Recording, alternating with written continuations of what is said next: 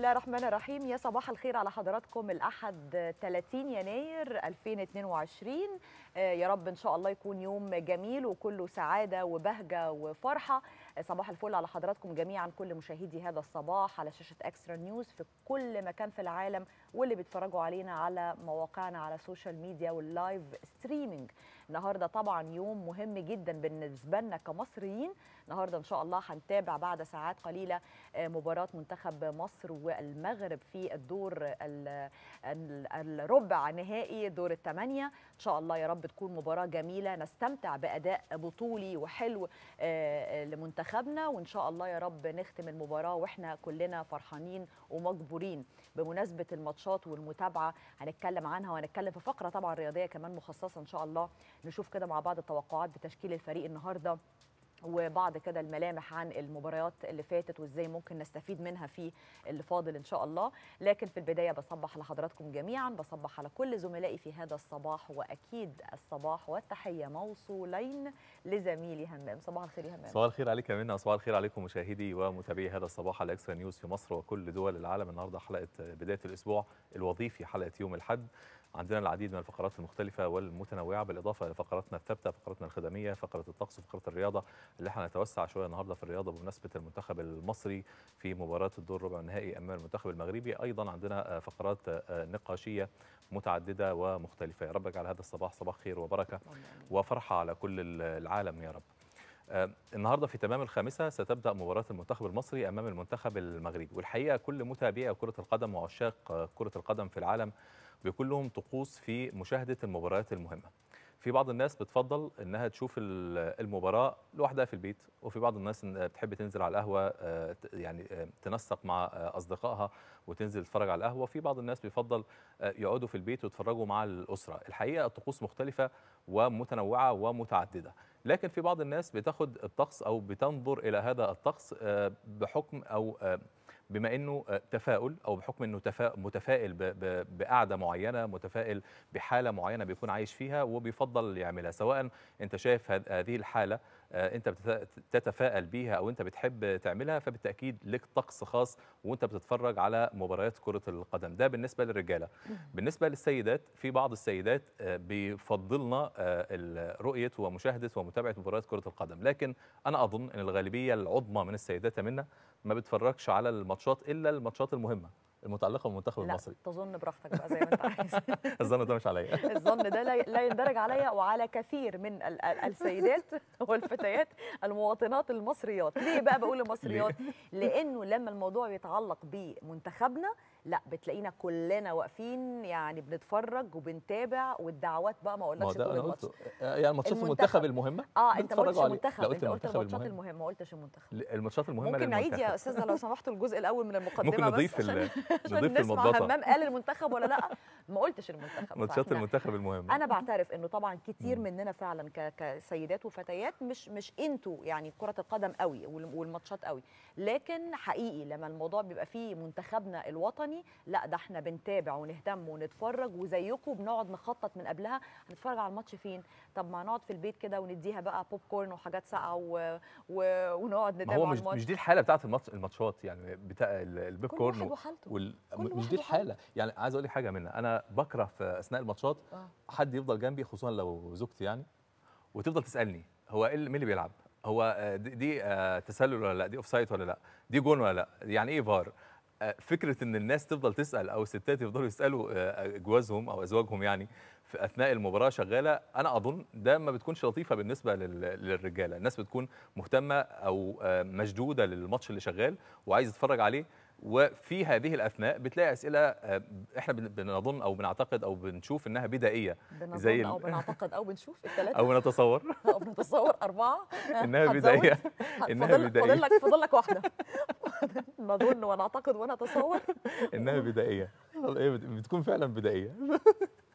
هو. للأمانة للأمانة اللي همام بيقوله مش قادرة أغلطه فيه قوي يعني حاولت ألاقي سكة كده أو مخرج كده عشان أناكف في همام زي ما بنعمل كالعادة بس للأمانة هو فعلا هو برضو أنا كتير جدا من من أصدقائي برضو بيقولوا نفس الفكرة إنه آه، مش مش مش بيحب كراجل قوي ان هو يبقى قاعد وقت الماتش وخصوصا بقى في الدقائق الحاسمة الرهيبة اللي هي آه، كلنا بنبقى مش عارفين ناخد نفسنا قوي من كتر التوتر يعني والستريس وتلاقي مثلا لو جنبك أختك زوجتك حتى والدتك أو كده وتسأل بقى هو دي حصلت ليه؟ هو يعني إيه بينالتي هو طب اللي هيتلعب دلوقتي؟ هو مين اللي هيلعب دلوقتي؟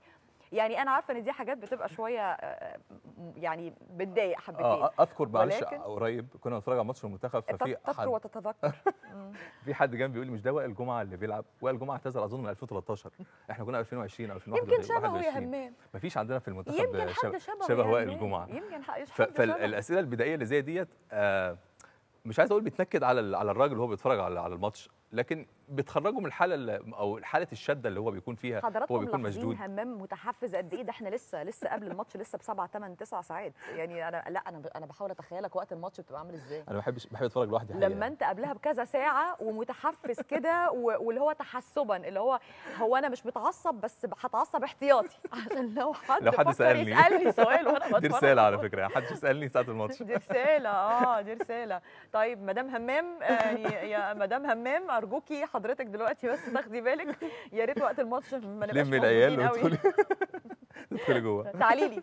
والله تنوريني والله. تعالي. تعالي إحنا نقعد نتفرج ونسأل بعض مع بعض كده. لا بس أنا في الم- في المنتخبات لما بتلعب ببقى يعني إلى حد كبير إلى حد كبير يعني يعني ببقى يعني شوية فاهمة اللي بيحصل إيه يعني. وطبعا أكيد كتير بسأل يعني.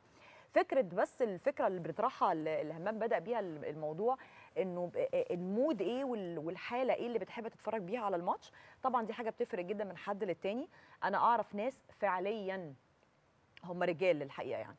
آه، وقت الماتشات المهمة دي لو منتخب أو حاجات الماتشات المهمة دي بجد بيقول لك أنا مستحيل أتفرج مع حد. لازم أقعد لوحدي وقافل عليا الباب لأنه أنا ممكن من التوتر أعمل حاجة. يعني ممكن أخبط حد بحاجة ممكن أعمل حاجة. ده extreme شوية. يعني ده اللي هو الحتة اللي هي فيها تعصب جامد جدا وأنت بتتفرج على كرة القدم أو المباراة. لكن في ناس تانية تقول لك لا بالعكس ده هو حلاوته ومتعته إن أنا أتفرج مع مجموعة مع صحابي. ال mood التاني اللي بنتكلم عليه mood تحب تبقى قاعد في بيت و home screen كده وقاعد بتتفرج ولا تبقى قاعد على كافيه أو على قهوة بلدي وسط ناس كتيرة قوي؟ فيا رب يا رب الفرحة بتبقى فرحة مم. الناس كلها تحس الأرض بتزلزل تحت رجلك كده وأنت بتقول هي وال- والهتافات دي كلها. آه، أو تحب إنه آه، يعني أو لو في مثلا لعبة مش حلوة اتلعبت قوي واتضايقت تحس إن الناس كلها متعاطفة معاك والناس كلها متضايقة زيك. يا رب ما يبقى في أي مضايقة النهارده يا رب النهارده إن شاء الله كلنا نستمتع ايا كانت الحالة أو ال ambiance زي ما بيقولوا كده الحالة اللي حواليك. وأنت بتتفرج على ماتش النهارده وأنتي بتتفرجي على ماتش النهارده إن شاء الله يا رب تبقى حالة حال- حالة حلوة جدا ونتبسط نتفرج على ماتش حلو قوي. زي ما قلنا لحضراتكم النهارده إن شاء الله عندنا فقرة نتكلم فيها عن ال- الماتش إن شاء الله في النهاية منا إحنا لازم نكون ورا المنتخب خلف المنتخب بنشجع المنتخب برغم حتى لو كان في أخطاء حتى لا قدر الله لو خسرنا النهارده إحنا ورا المنتخب في تصفيات كأس العالم الماتش الأخير لكأس العالم هيكون رايح جاي مع السنغال وبالتالي هنكون ورا المنتخب سواء كسب إن شاء الله النهارده أو لا قدر الله خسر النهارده. وفي النهاية ده ماتش أمام المغرب البلد العربي آه، الشقيق المنتخب المصري أو المنتخب المغربي ايا ما كان الفائز فنبارك لهذا الفائز وحظ أوفر للخاسر آه، أمامنا مرحلة آه، جديدة وأمامنا مرحلة هامة أيضا هي التأهل لنهائيات كأس العالم هتكون في نهاية شهر مارس القادم. نتمنى التوفيق طبعا للمنتخب المصري. خلينا نروح لسمر آه، معانا النهارده وهتقول لنا أخبار الطقس. سمر صباح الخير. صباح الفل يا سمر. النهارده أحمر يا منى، واظن المنتخب المصري يا يلبس. النهارده نفس لابسة ال- بقى لبس. الوطني وجاهزه الألوان. أيوه بالظبط. ربنا يكتب لنا إن شاء الله يا. الفرحة النهارده ويكتب للمنتخب الوطني الانتصار يا والفوز رب بإذن يا الله. رب إن شاء الله. خلينا ننتقل. للتعرف على أولى خدماتنا اليومية اليوم مع حالة الطقس هذا الصباح حيث تتوقع هيئة الأرصاد الجوية. أن يشهد اليوم الأحد. استمرار انخفاض الحرارة ليسود طقس بارد نهارا على القاهرة الكبرى والوجه البحري والسواحل الشمالية وشمال الصعيد. مائل للبرودة على جنوب سيناء وسلاسل جبال البحر الأحمر. مائل للبرودة أيضا على جنوب الصعيد. شديد البرودة ليلا على كافة الأنحاء يصل إلى حد الصقيع على وسط سيناء. هذا وأوضحت هيئة الأرصاد الجوية أن يشهد اليوم فرص أمطار خفيفة إلى متوسطة على مناطق من السواحل الشمالية الغربية وشمال الوجه البحري على فترات متقطعة وأيضا نشاطا للرياح على مناطق من القاهرة الكبرى والوجه البحري والسواحل الشمالية وشمال الصعيد. مثيرة آه، ويمكن أن تكون هناك آه، بعض الرمال والأتربة على فترات متقطعة أيضا. أما الآن فنستعرض درجات الحرارة في القاهرة. تكون درجة الحرارة الصغرى آه، 8 درجات والعظمى 16 درجة في الإسكندرية الصغرى 10 درجات والصغرى والعظمى عفوا 16 درجة في مطروح الصغرى 8 والعظمى 15 أما في بورسعيد فالصغرى 8 درجات والعظمى 17 درجة. بالانتقال إلى شرم الشيخ تكون درجة الحرارة الصغرى 13 والعظمى 19 في الغردقة آه، تكون درجة الحرارة الصغرى آه، 11 والعظمى 19 في الأقصر درجة الحرارة الصغرى 7 درجات والعظمى 18 أما عن أسوان فتكون درجة الحرارة الصغرى 8 والعظمى آه، 19 درجة. للتعرف أكثر على آه، حالة الطقس آه، لليوم ينضم إلينا هاتفيا الدكتورة منار غانم عضو المركز الإعلامي بهيئة الأرصاد الجوية. صباح الخير عليك يا دكتورة منار ونتعرف من حضرتك على حالة الطقس النهاردة. صباح الخير على حضرتك أستاذة سمر وصباح الخير كمان على كل السادة المشاهدين. إحنا الحمد لله بنشهد استقرار في الأحوال الجوية. بدأنا نلحظ زيادة لفترات سطوع أشعة الشمس على كافة مناطق الجمهورية. تحسن في درجات الحرارة عن الأيام الماضية لكن لسه درجات الحرارة بتكون أقل من المعدلات الطبيعية اللي إحنا متعودين عليها دايما في فصل الشتاء في مثل هذا الوقت من العام. عشان كده الطقس خلال ساعات النهار هنقدر نشوف إن هو طقس بارد على سواحلنا الشمالية للبلاد محافظات الوجه البحري أيضا محافظات شمال الصعيد والقاهرة الكبرى. بيكون آه، معتدل الحرارة على المحافظات الجنوبية زي جنوب الصعيد وجنوب سيناء ده طبعا خلال فترة النهار. خلال فترة الليل انخفاض ملحوظ في درجات الحرارة والطقس بيكون شديد البروده على كافة مناطق الجمهورية اللي بيوصل أحيانا لحد الصقيع. على بعض المناطق الموجودة في شمال الصعيد ووسط سيناء وبعض المدن الجديدة لأن درجات الحرارة في المناطق دي بتنخفض لأقل من خمس درجات. نعم بالنسبة لفرصة سقوط أمطار دكتورة منار هو اليوم طبعا متوقع فرص لسقوط الأمطار. يعني أمطار إحنا دايما متعودين عليها في فصل الشتاء على سواحلنا الشمالية الغربية وتحديدا مطروح والإسكندرية. أيضا بعض المناطق من محافظات شمال الوجه البحري زي البحيرة وكفر الشيخ والدقهليه هي أمطار خفيفة متوسطة بتختلف من منطقة للثانيه وبتبقى دايما على فترات متقطعة. اليوم خلينا ننوه إن في نشاط للرياح على أغلب مناطق الجمهورية. هيكون تقريبا بعد الظهر هيدي هيدينا رمال مثاره أو هيأثر علينا برمال مثاره يكون محمل بالرمال المثارة مم. خاصة على الطرق آه، الصحراوية والأماكن المكشوفة لكن إن شاء الله ما فيش منه قلق مش هيأثر على الرؤية الأفقية بشكل ملحوظ خاصة على القاهرة الكبرى. طبعا متوقع استمرار هذه الأجواء يعني على مدار هذا الأسبوع مزيد من التحسن في درجات الحرارة في كمان مع يوم الأربعاء القادم توصل الحرارة على القاهرة الكبرى ل 19 درجة مئوية والأجواء الشتوية المستقرة كميات الأمطار غدا ممكن تمتد إلى الداخل لكن إن شاء الله هي أمطار خفيفة مش بتأثر على أعمال الأنشطة نعم. بتوجه إليك بجزيل الشكر دكتورة منار غانم عضو المركز الإعلامي بهيئة الأرصاد الجوية على هذا الكم من المعلومات. شكرا جزيلا لك. أما الآن مشاهدينا فعودة لاستكمال باقي فقرات هذا الصباح مع زميلي منا وهمام. شكرا ليكي. شكرا جزيلا يا سمر. دلوقتي مشاهدينا نروح نشوف مواعيد قطارات من وإلى الوجه الإبلي والوجه البحري.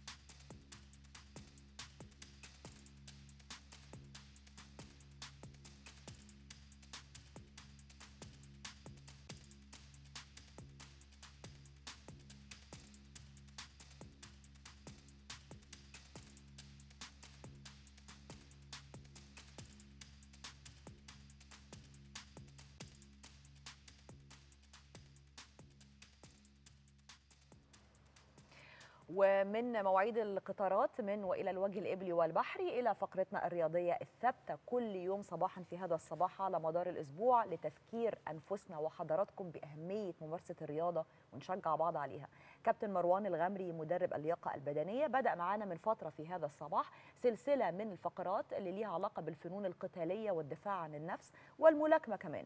والحقيقة إنه الثلاثه مرتبطين ببعض أو في تمرينات معينة مشتركة ما بين الثلاثه كل مرة بنشوف معاه زاوية مختلفة أو تمرينة جديدة ممكن نكتسبها في الدفاع عن النفس والملاكمة. النهارده هيستكمل معانا آه هذه السلسلة في التقرير التالي. يا صباح الخير يا صباح الجمال على كل مشاهدين Extra News. أنا كابتن مروان الغمري. النهارده يا شباب هنكمل في الفقره الرياضيه اللي إحنا نتعلم إزاي نضرب بوكس نتعلم الملاكمة بمعنى صح.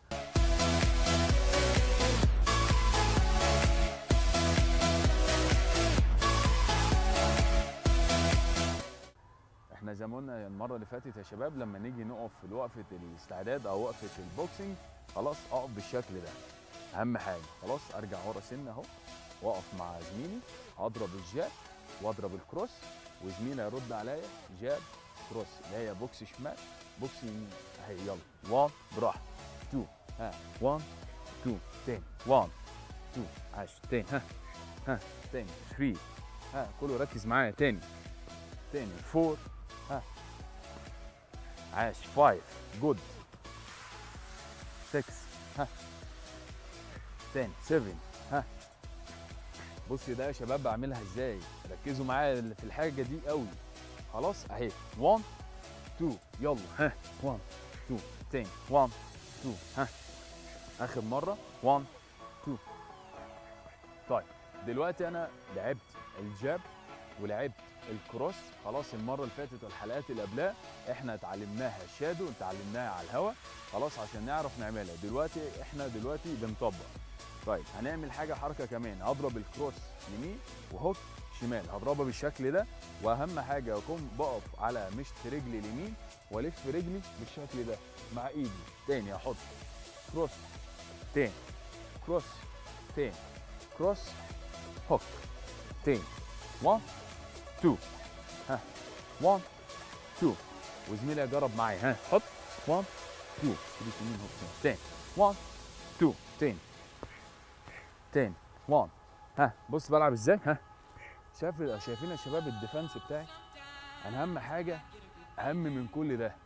خلاص الوقفة بتاعتي يكون قافل defense على وشي كويس قوي. يعني مفيش ملاكم بيلعب تمام وهو منزل دراعه وفاتح وشه واقف كده. لا هي الملاكمة مش كده خالص. الملاكمة ليها تكنيك صح المفروض اللي أنا أطبقه بالحرف خلاص وبالاخص ال defense بتاعي عشان ما اتصابش عشان ما عشان ما فيش أي إصابة تجيلي وبعد كده نقعد نتضايق والكلام ده كله. هي الإصابات دي طبعا يعني بتاعت ربنا سبحانه وتعالى في الأول والآخر بس أنا مش عايز أحط في نفسي في ده. أنا خليني في اللي أنا في اللعبه زي مدربينا اتعلمنا أو الملاكمة ماشية كده إحنا نمشي عليها بال... بالأخص كده. خلاص؟ هنجرب تاني يا شباب. أحط بقى جاب وأحط الكروس وأحط هوك شمال تاني ها. 1 2 3 وارجع تاني ها 1 2 3 وارجع تاني ها ها ها يلا 4 ها ها 10 5 ها ها ها اسرع ها ها ها 6 ها ها ها ها ها ها ده ده الملاكمه تاني بام بام بام 1 2 3 عايز اعملها بسرعة بام بام 1 2 3 طب يا شباب هنستخدم ال uppercut برضو أقدر استخدمها مع زميلي برضو. تمام؟ اقف يا حمادة. تمام؟ إيدك فوق. زي ما انت. خلاص. اضرب ال upper يمين في من هنا. في الضلع ها. طبعا هو عشان هو قافل defense بس هو زي دي كده. هي الضربة عشان اشرحها لكم. أنا المفروض اللي هي تتضرب هنا. بحطها هنا في الضلع بلف وسط برضو وسط بيها. 1 وارجع تاني. أحط 1 يبقى أنا بكسر مسافة. أحط ال jab. وارجع أحط upper يمين وارجع أفرد ال jab تاني. أهو. 1 2 3 بالراحة. 1 2 3 شايف ال defense؟ okay أحطها بشكل أسرع. 1 2 3 ها ها ها واحد اثنين ثلاثة واحد اثنين ثلاثة المفروض هو حتى لو هو يعني مثلا اللاعب اللي أنا بلعب معاه أو الخصم اللي أنا بلعب معاه أو ايا كان وهو قافل كويس كده خلاص أنا ممكن أضربها هنا في الجنب. يعني أنا أوسع الأبر ده شوية وألف من الناحية دي من أضربها هنا. أوعى. ها. ها. خلاص؟ طيب هنعمل تكنيك كمان يا شباب. okay. هضرب ال jab وأضرب ال cross. واحط لي؟ بوكس شمال. وأرجع أخد بين أحط cross تاني أهو. 1 2 أرجع فاول وأحط. دي اسمها feint يعني أنا ما اللي أنا مش بفوق يعني أنا مش برجع ورا جبن أو حاجة. لا أنا بلعب. اللي أنا بعمل غير ال defense حاجة اسمها feint ال feint ده أنا برجع بيها خطوه ورا اللي أنا بتفادى ضربة عشان أحط ضربة. يعني بضرب مع الضرب بالشكل ده. ارجع. 1 2 أرجع. slip 1 2 ارجع slip ها ها ها ها تاني 1 2 ها اهي تاني 1 2 ها ها تاني 1 2 ها ها وممكن بقى أزود وراها upper شمال hook شمال وراها straight يمين. يعني فيما صح اللي أنا عايز أضرب تمام أخد point يعني أنا أشوف مثلا أضرب في الوش أضرب في ال chest أضرب في البطن أضرب في الضلع خلاص عشان أكسب نقطة وعشان الضربه تكون مؤثره صح؟ خلاص يعني مش الهدف اللي أنا عايز أضرب في الديفنس بس.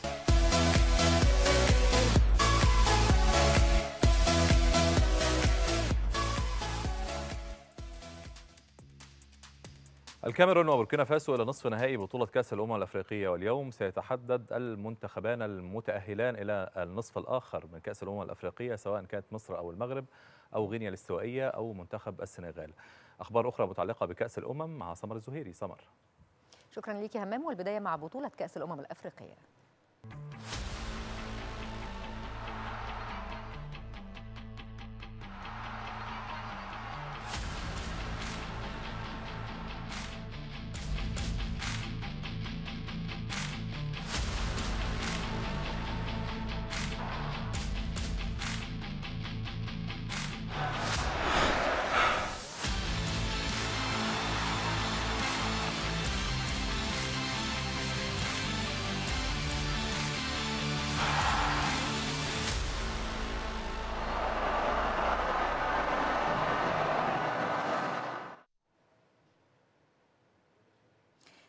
منتخب الكاميرون لنصف نهائي بطولة كأس الأمم الإفريقية وذلك بفوزه السهل على جامبيا بثنائية نظيفة حيث سجل اللاعب إيكامبي هدفي منتخب الكاميرون. وينتظر الكاميرون في دور نصف النهائي الفائز من مباراة منتخبي مصر والمغرب.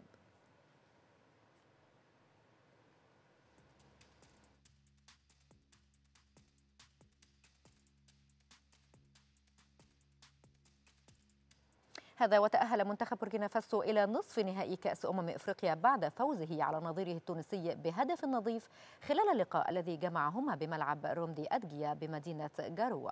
حيث سجل اللاعب دانجو واتارا هدف الفوز لبوركينا فاسو في الدقيقة الخامسة والأربعين وينتظر المنتخب البوركيني في نصف النهائي الفائز من مباراة السنغال وغينيا الاستوائية.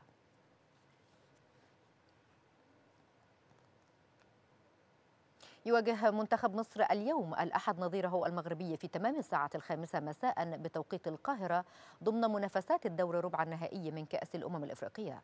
وكان المنتخب الوطني أدى مرانه على الملعب الفرعي لاستاد أولمبييه استعدادا للقاء المرتقب. وأسندت لجنة الحكام في الاتحاد الإفريقي لكرة القدم كاف مهمة مباراة مصر والمغرب لطاقم تحكيم سنغالي بقيادة ماجيت ندياي حكم ساحة.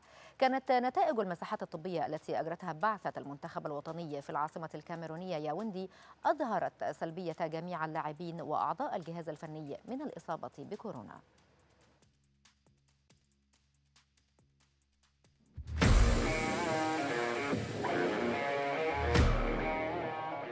مواجهة عربية مثيرة تجمع بين منتخب مصر وشقيقه المغربي ضمن منافسات ربع نهائي كأس الأمم الأفريقية في العاصمة الكاميرونية ياوندي الفراعنة تأهلوا إلى ربع النهائي بعد التفوق على كوت ديفوار بركلات الترجيح.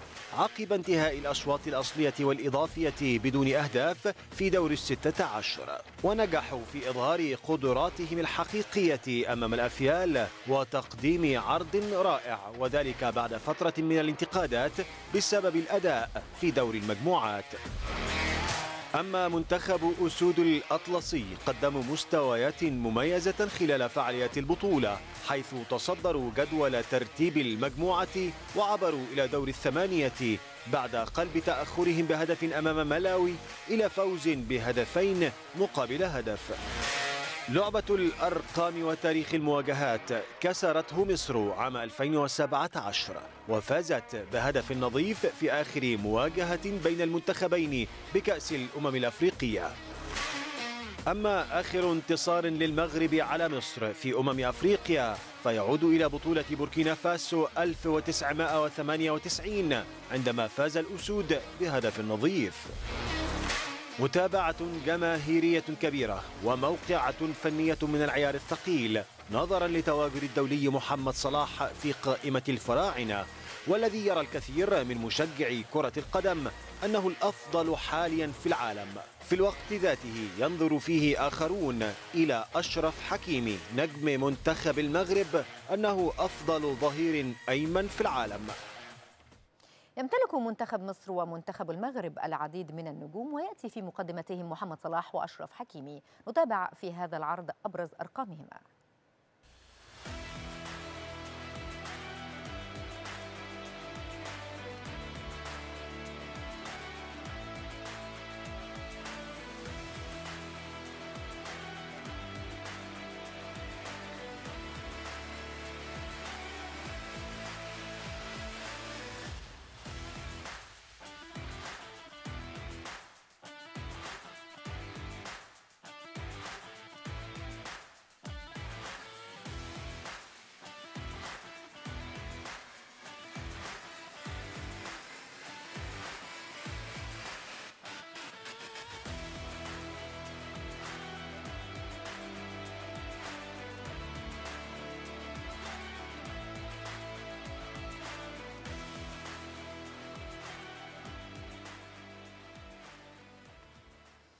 يلتقي منتخب السنغال مع غينيا الاستوائية اليوم الأحد في ربع نهائي كأس الأمم الإفريقية حيث أعلن الاتحاد السنغالي لكرة القدم أن المهاجم ساديو ماني جاهز للعب أمام غينيا الاستوائية وذلك عقب تعرضه للإصابة خلال مباراة الرأس الأخضر في دور الستة عشر والتي انتهت بفوز السنغال بهدفين دون رد.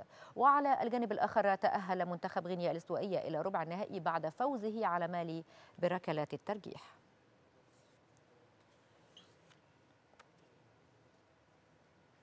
أما المشاهدين فالآن عودة لاستكمال باقي فقرات استوديو هذا الصباح. إليك همام. شكرا جزيلا لك يا سمرة وأرجع لك على رأس الساعة إن شاء الله في موجز الأخبار. شكرا. النهارده أو زي النهارده يوم آه 30 يناير بس في 2016 رحلت عنا عالمنا آه فنانة كبيرة جدا جدا جدا وهي من أطلق عليها معجزة السينما المصرية. آه الطفلة الجميلة الشقية اللي يعني من وهي صغيرة من نعومة أظافرها زي ما بنقول والحقيقة إنه بقت مشهورة جدا وده كان شيء غريب في الوقت ده إنه طفلة صغيرة تصبح نجمة كبيرة كده وذات صيت وشهرة كبيرة جدا. آه الكل أول ما ظهرت اتنبأ إن هي هتكون فنانة بارعة وسوبر وإن هي هتبقى آه يعني ليها شأن كبير جدا في عالم الفن عموما. آه بنتكلم طبعا عن الفنانة الجميلة فيروز من أحد من من أشهر نجمات السينما. واللي حصل إنه يمكن هي أو ليه الناس دايما لما تقول فيروز على طول تفتكر فيروز الصغيرة؟ مع إن هي كبرت برضو وتزوجت وأنجبت بس هي لأنه فيروز اتشهرت واتعرفت وهي طفلة صغيرة شقية وجميلة وموهوبة ورهيبة يعني في في الشقاوة والتقليد والسكتشات اللي كانت بتقدمها.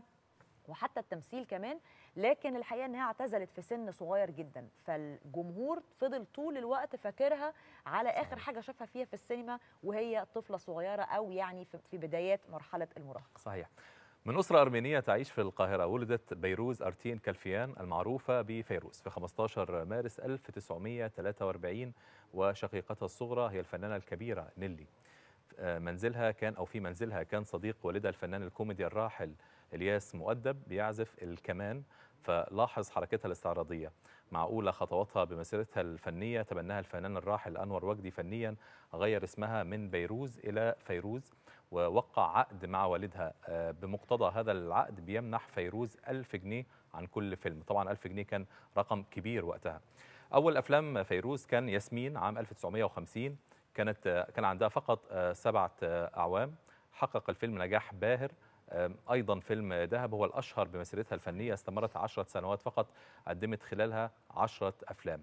اعتزلت الفن مبكر جدا سنة 1959 بعدما قدمت آخر أعمالها بفكر في اللي نسيني وتزوجت من الفنان بدر الدين جمجوم وودعت الطفلة المعجزة فيروز محبيها في 30 يناير عام 2016 بعد صراعها مع مرض الكلى.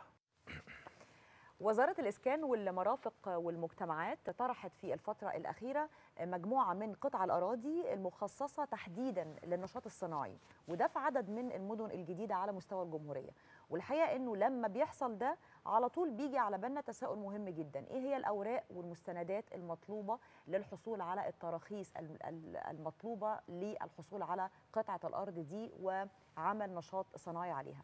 آه، وزارة الإسكان متمثلة في هيئة الخدمات المجتمعات العمرانية آه، حددت مجموعة من الأوراق والمستندات المطلوبة عشان تقدر حضرتك تستخرج آه، ترخيص لبنى مشروع صناعي أو حتى لو هو قائم المشروع بس عايز تعمل أي تعديل عليه أو توسع المشروع. في الإنفوجراف أو العرض التالي هنعرف مع بعض ما هي الأوراق المطلوبة لاستخراج ترخيص بناء مشروع صناعي. نتابع معنا. Thank you.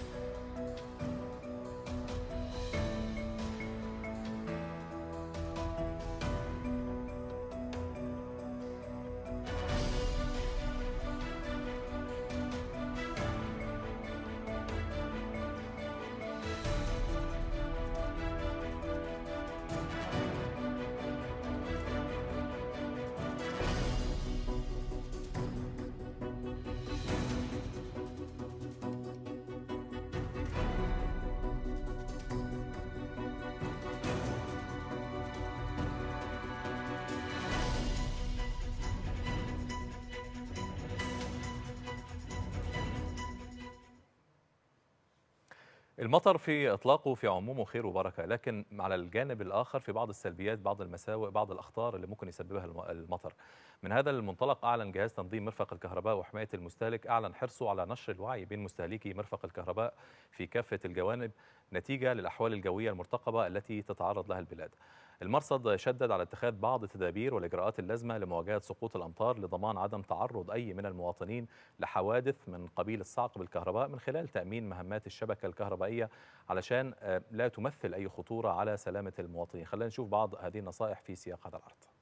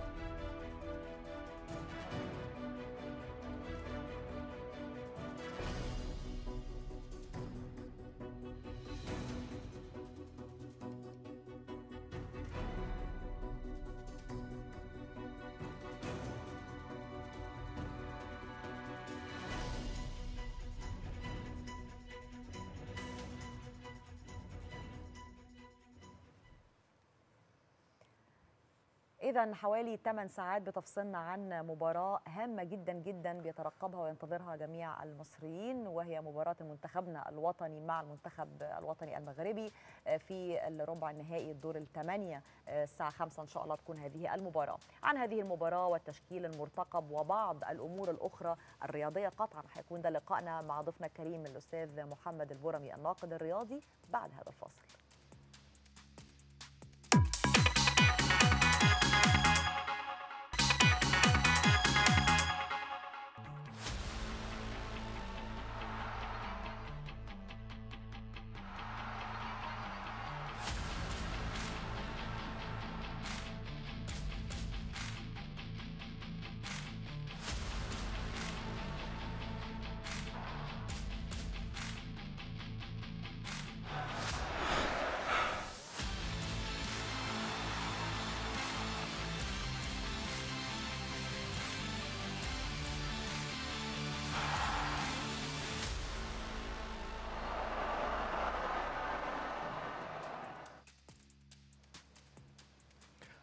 أهلا بحضراتكم مرة ثانية مشاهدينا الأعزاء. في الخامسه من مساء اليوم تتجه الأنظر والعيون والقلوب والأفئدة صوب ياوندي عاصمة الكاميرون لمتابعة ماتش أو مباراة المنتخب المصري أمام المنتخب المغربي ضمن منافسات كأس الأمم الأفريقية في دور الثمانية دور ربع النهائي الفائز من هذه المباراة. سوف يلتقي منتخب الكاميروني صاحب الأرض والجمهور في الدور النصف النهائي. مصر والمغرب هي مباراة مكررة في كأس الأمم الأفريقية طول الوقت. آخر مرة كسبنا فيها المغرب كانت عقدة طول الوقت المغرب لكن آخر مرة كسبنا فيها المغرب كانت عام 2017 بهدف محمود كهربا. بالتأكيد مباراة مهمة للغاية. كل الجمهور المصري والمغربي والوطن العربي وربما الأفريقي هيتابع هذه المباراة الهامة. هنتكلم عن هذه المبادره المباراة والتشكيل المتوقع والأداء المتوقع من المنتخب المصري مع الأستاذ محمد البرمي الناقد الرياضي. أستاذ محمد صباح الفل. أهلا يا صباح الفل حضراتكم صباح الفل على حضرتك صباح الفل على كل السادة المشاهدين. إحنا شفنا أداء المنتخب الوطني أمام كوت ديفوار ويعني برضو كالعادة وده لازم يحصل يكون في تباين في الآراء لكن في المجمل كنا مبسوطين وراضيين. هل عشان كسبنا فإحنا ممكن نبقى تغاضينا عن حاجات فنية ممكن البعض يراها خصوصا المتخصصين اللي زي حضراتكم؟ مش عارفة بس في المجمل كنا فرحانين. هل بتتوقع إنه النهارده قبل ما نتكلم في توقعاتك عن تشكيل المنتخب النهارده إن شاء الله هل تتوقع إنه إن شاء الله يا رب يعني نأمل ذلك؟ ولكن هل تتوقع إنه حن هنحافظ على نفس مستوى الأداء اللي قدمنا بيه البطولة الهائله اللي لعبنا بيها قدام كوت ديفوار؟ يعني أتوقع إن إحنا هنكمل بنفس بنفس المستوى. آه خاصة إن أنا بعتبر مباراة كوت ديفوار دي البداية الحقيقية للجيل الحالي. آه هو حتى لو كنا خسرنا أمام كوت ديفوار وده سؤال مهم يعني أعتقد. كتير هي هيتفقوا معايا فيه. حتى لو خسرنا أمام كوت ديفوار كنا هنبقى راضيين جدا. لأن إحنا كانت يعني كان في شوية قلق من الجماهير على المنتخب أداء المباريات الأولى خسرنا أمام نيجيريا كسبنا آه الماتشين التانيين لكن الأداء نفسه ما كانش آه هو الأداء اللي إحنا بنتمناه للمنتخب. الروح اللي كانت موجودة مش ده مش ده مش ده الإحساس اللي إحنا نحسه منتخب مع لكن القلق برضه لسه من كيروش واختياراته بالظبط. وايه لكن في في والغموض اللي شوية بيحب لكن في مباراه الكوت ديفوار كل الكلام ده أعتقد ما بقاش موجود. مم. كان في روح آه قوية جدا آه لدى اللاعبين وكان في إصرار كبير جدا. لا ما كانش اضافه للأداء الفني كمان كان ما كانش في لعب كتير في التشكيل التشكيل خالص. الطبيعي المفترض إنه كان يحصل من أول يوم حصل في ماتش كوت ديفوار في بداية كوت ديفوار. وكان في إصرار كمان عند اللاعبين كبير جدا. هل بتتوقع إنه يبدأ نفس التشكيل حتى لو حمدي فتحي مصاب يبدأ بحد في نص الملعب في مركزه؟ في مكانه الطبيعي بدل اللي إحنا كنا بنشوفه قبل كده في ماتش نيجيريا تحديدا. هو ممكن هيميل أكتر لزيزو يعني مم. هو هيبدل يمكن عمرو السولية المباراة الأولى أمام كوت ديفوار كان عنده أدوار هجومية أكتر. آه عكس حمدي والنني يمكن نني كان آه بيساعد شوية في الهجوم لكن حمدي كان ملتزم جدا ب تغطيه خلق المراكز الدفاع في وسط الملعب. أعتقد إن عمرو السولية هيقوم بدور حمدي فتحي لكن هيدخل مكان عمرو السوليه هيدخل أحمد سيد زيزو. أحمد سيد زيزو قدم مباراة جيدة جدا مباراة مباراة كوت ديفوار لما نزل عمل انتعاشة كبيرة جدا في وسط الملعب. فأعتقد إن هو هيبدأ بيه إلا لو كان هو حابب يلعب نفس الشكل فممكن يدخل مهند لاشين مثلا في وسط الملعب مكان حمدي فتحي.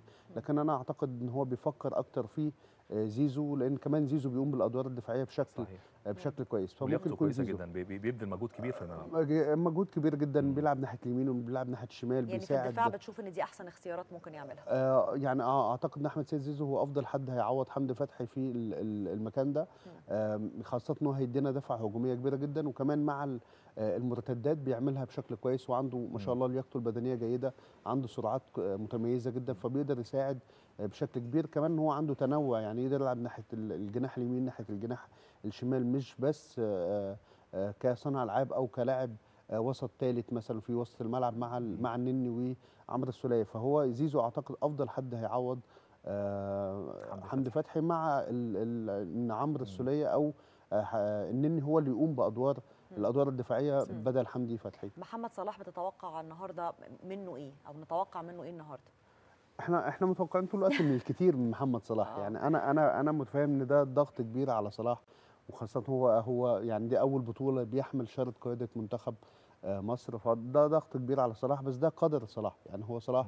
هو أفضل لاعب في العالم حاليا هو أفضل لاعب مصري في التاريخ يعني آه، صحيح. فبالتالي إحنا الجمهور متوقع منه كل كل حاجة آه،. كويسة مش بنقول مش هياخد الكرة من الجون للجون طبعا في مبالغ فيها لكن وجوده في الملعب شخصيته في الملعب تشجيعه اللاعبين اللاعبين زمايله بيديهم ثقة بيديهم آه، إصرار إن هم يكملوا آه، وجوده كمان في الخط ال- الأمامي صناعه اللعب أو ال- التسجيل بيفرق كتير جدا آه، مع منتخب مصر فاكيد متوقعين من محمد صلاح صحيح إن هو يقود منتخب مصر مكان. محمد صلاح في ماتش النهارده يمكن يكون هو محور اللعب سواء محمد صلاح أو أشرف حكيمي طبعاً. وبوفال طبعا في المنتخب طبعاً. المغربي آه، تشكيل مصر الأساسية في المنتخب في, في أمام مباراة أو في مباراة كوت ديفوار كانت كده علشان العناصر اللي كانت موجودة في في منتخب كوت ديفوار اللي- بتلعب في أندية كبيرة وأندية. عالمية آه، المنتخب المغربي آه، بالتأكيد عنده عناصر هايلة زي زي ما قلت بوفال عنده أشرف حكيمي ومعظمهم. في الناحية ونصيري. ومعظمهم في الناحية اليمين ناحية نعم. محمد صلاح هل ممكن محمد صلاح يستغل ورا أشرف حكيمي الجناح الأيمن علشان يعني يقدر يستغل ال- ال- الخروقات الدفاعية اللي ممكن تحصل في منتخب المغرب. هو انت كده ما كشفتش الخطة على الهواء وعلى الناس وعلى ده. لا لا لا هو هو. هو مستنير همام اللي يكشف. همام كشف الخطة بتاعتنا دلوقتي. هنعمل إيه دلوقتي؟ ممكن نغير الخطة خالص. نبلغهم إزاي دلوقتي ان لازم الخطة تتغير نخلي. محمد صلاح راس حربة زي نخلي محمد صلاح راس. الشيري. يعني هو ما فيش تغيير كبير جدا في التشكيل. آه يعني ممكن هو المنتخب ال- ال- المغربي شوية أغلب شو أغلب ال- الهجمات أو أغلب شغله. بيكون ناحية اليمين طبعا حكيمي لعيب هو. يعني أفضل من. أفضل ثلاث أفضل ثلاث زهراء أيمن مم. في العالم كله مع آه، أرنولد ومع آه، يعني فهو هو حاليا من الأفضل فبالتالي هو. كمان بيقدم بطولة آه، جيدة جدا فهيكون في تركيز كبير جدا عليه يعني أنا مشفق على أحمد فتوح النهارده بصراحة يعني إن هو هيلعب على آه، أشرف حكيمي آه، بيسيبوا ال- المنتخب المغربي شوية عنده مشكلة في خط الدفاع مم. إن هم بيسيبوا مساحات كبيرة جدا صحيح وعندهم مشاكل في التغطية العكسية فيعني كل الحاجات دي أعتقد إن هو كيروش هيبقى واخد باله منها هيقدر يستغلها كمان فكرة التركيز على محمد صلاح أو التركيز الأكبر على مم. والضغط على محمد صلاح بيدي فرصة أكبر للاعيب لظهور لاعبين تانيين يعني أعتقد لو آه، عمر لو قدرنا نستغل عمر مرموش مثلا في الاختراقات من العمق هم برضه عندهم مشاكل في العمق هم بيلعبوا نفس طريقة مصر تقريبا, تقريبا يعني. زي بعض. تقريبا آه. ب- بنلعب نفس الطريقة. فإحنا لو لو قدرنا نلعب من العمق شوية أو البينيات ونعتمد على صلاح فيها مع سرعات زيزو أو لو تريزيجيه لعب أو عمر مرموش في ال- السرعات اللي بنعملها فنقدر نستغل المساحة ال- ال- اللي ورا آه ورا ورا آه ورا. خط الدفاع خاصة آه حكيمي لأن حكيمي تقريبا بيقوم ب يعني 50% من الأدوار الهجومية لمنتخب المغرب. تقريبا كل اللعب وكل التركيز بيكون بيكون عليه. ودي نقطة ضعف قد ما هي نقطة إيجابية للمغرب. صحيح. آه، إن إحنا عارفين ده إن ده واضح عندهم يعني دي نقطة آه. الضعف اللي موجوده عندهم آه، أهمية مباراة النهارده يا أستاذ محمد هل زي ما كان همام بيشير فكرة إنه إحنا مع المغرب بالذات مش هقول آه. كان عندنا عقدة بس يعني كان في شد وجذب كتير في آه. في اللعب قصاد المنتخب الوطني المغربي ولا كنا برضو ما ما أخدناش لم نحصل على كأس الأمم الأفريقية من 2010 يعني إيه أهمية المباراة النهارده إيه يعني آه، أنا ما بشوفش المغرب عقده آه، بصراحة يعني بداية من القرن ال- ال- الحالي من سنة من 2000 لحد النهارده إحنا لعقده المغرب مش العكس لا إحنا كلنا فاكرين المنتخب كان 2002 لما ما ماتش ما خسرناش ما خسرناش آه بس كان بس ماتش مثلا ماتش في, في في التأهل لكأس 2006 العالم. كانت معانا 2006 المغرب في مم. المجموعة وفزنا بالبطولة صحيح. في 2017 لعبنا المغرب وصلنا للنهائي. وفي 98 وفي ك- 80 خسرنا صحيح من المغرب لكن خدنا كأس البطولة. فبالعكس أنا بشوف إن المغرب لا وشها حلو علينا ايا كانت النتيجة يعني. فممكن إن شاء الله تكون وشها حلو علينا هو- النهارده. هو عفوا يعني العقدة بوركينا فاسو قدام تونس. مثلا. قدام آه تونس آه ثلاث طبعا مرات صعبة خرجوها يعني صعبة واخرها جدا يعني الموضوع يعني. صعب. آه عشان كده بنفس أنا بقول هو كان شد يعني. وجذب بس ما كانتش بالنسبة لنا عقدة يعني بالظبط. لا مش يعني عقدة بالعكس للماتشات حاجة إيجابية جدا لينا يعني. محمد. المباريات بين مصر والمغرب آه، إحنا اتقابلنا أو إحنا كسبنا ثلاث ماتشات في مقابل 11 مرة آه. للمغرب آه، صحيح معظمها اظن في تصفيات كأس العالم أو في آه، ماتشات أخرى مظبوط. لكن في كأس الأمم حتى لو خسرنا إحنا بنعمل نتيجة إيجابية في النهاية في- 86 هدف طاهر أبو 86 زيد. آه، فزنا برضه. بالبطولة فأنا مم. بالعكس أنا بشوف إن ده في كأس المغرب الأمم آه آه في كأس الأمم 86 بالعكس والشهر بشوف حلو هو شيء علينا. إن شاء الله تكمل كده على طول إن شاء حلو الله. علينا لكن أهمية أهمية البطولة عموما لل... لل... للجيل الحالي لمنتخب مصر مم. إنها هتديله ال- الثقة اللي إحنا محتاجينها. مشكلة ال- ال- المجموعة الحالية إنها اول فيها عدد كبير جدا من اللاعبين أول مرة يشارك في بطولة إفريقيا. ما عندوش الخبرات الكافية وما عندوش ما كانش لسه عنده الثقة الكافية. فإحنا يعني ممكن بعتبر مثلا ليه كوت ديفوار مثلا هي البداية الحقيقية للجيل مم. الحالي. لأن إحنا بقالنا فترة طويلة ما كسبناش منتخب إفريقي كبير.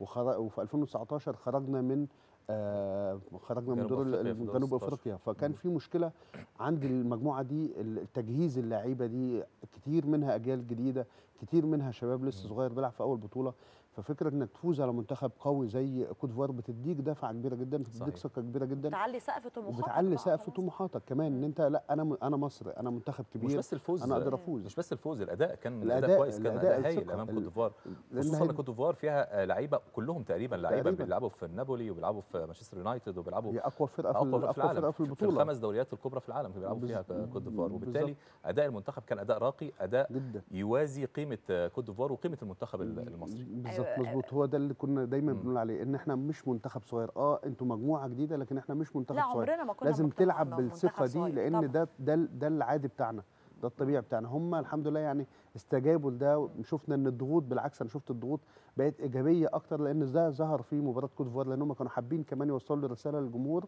خليكم ورانا. إحنا يمكن آه، أنا أنا طبعا بشيد ب- ب- بالمبادره ال- إن هو. مفيش أهلي وزمالك هو منتخب مصر. بس و في هدنة دلوقتي ب- ب- آه يعني أتمنى إن قبل إحنا ما نسأل قبل ما نسأل سؤال تاني عن مب- مباراة النهارده برضو ون- ونسمع كده آراء بعض الساده المواطنين في موضوع كنا بندردش فيه في أول الحلقة وهسألك برضو هتتفرج على ماتش فين النهارده وبتحب تتفرج على ماتش مع ناس ولا لوحدك ولا هنسأل في كل ده بس سؤال هل هل ال- ال- ال- الضجة الكبيرة أو عدم فهمنا خلينا نقول لتفكير ودماغ مستر كيروش. وده آه. كانت حاجة طبيعية مدرب جديد جاي. فاحنا في النهاية عايزين برضو لسه ما كناش. فاهمينه قوي.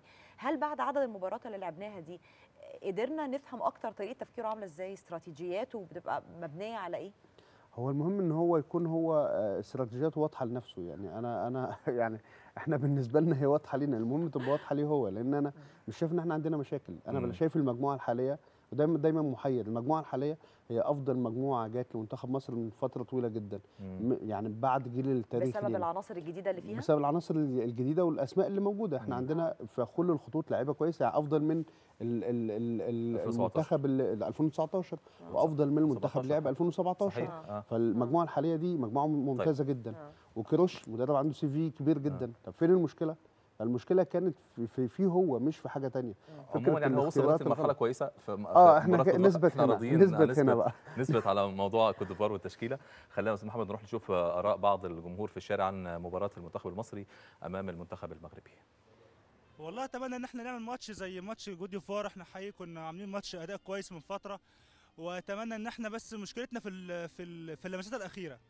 إحنا بنبني الهجمة كويس وأتمنى إن إحنا بس إن يعني ال- الهجوم أو إن إحنا نقدر ننهي الجمله بشكل أفضل أحسن من كده. أتمنى إن اللعيبة تلعب آه، بروح قوية آه، إن هي تلعب ما تلعبش على أساس إنها تبع أهلي أو زمالك لا بالعكس إن هي بتلعب باسم منتخب مصر وإن شاء الله المنتخب يفوز بإذن الله. آه إن شاء الله يبقى أحسن كمان من الأداء بتاع الماتش اللي فات. هو اللعيبة كان نازل عندها روح في الملعب ونازلين عندهم ثقة كبيرة إن هم هيكسبوا أصلا. فما كانش هاممنا حد ولا لعيبة محترفة ولا أي حاجة. فالحمد لله. اللعيبة تبقى على قد المسؤولية ويلعبوا بنفس الحماس يعني وما يحطوش في دماغهم الحتة اللي هي بتاعه المغرب وكعبهم عالي علينا والكلام ده. لا الناس تكون رجالة في الملعب آه، تلعب ماتش بماتش وما نفضلش عايشين كتير على موضوع كوت ديفوار ده لأن هو ماتش وراح. يعني أنت لو خسرت بكرة ماتش المغرب ولا كأنك عملت حاجة يعني كل اللي فات راح. وبعدين إحنا ما ننساش إن إحنا أدائنا كان وحش جدا الدور الأول. فاحنا مش هنبني على الأداء الماتش كوت ديفوار بس يعني.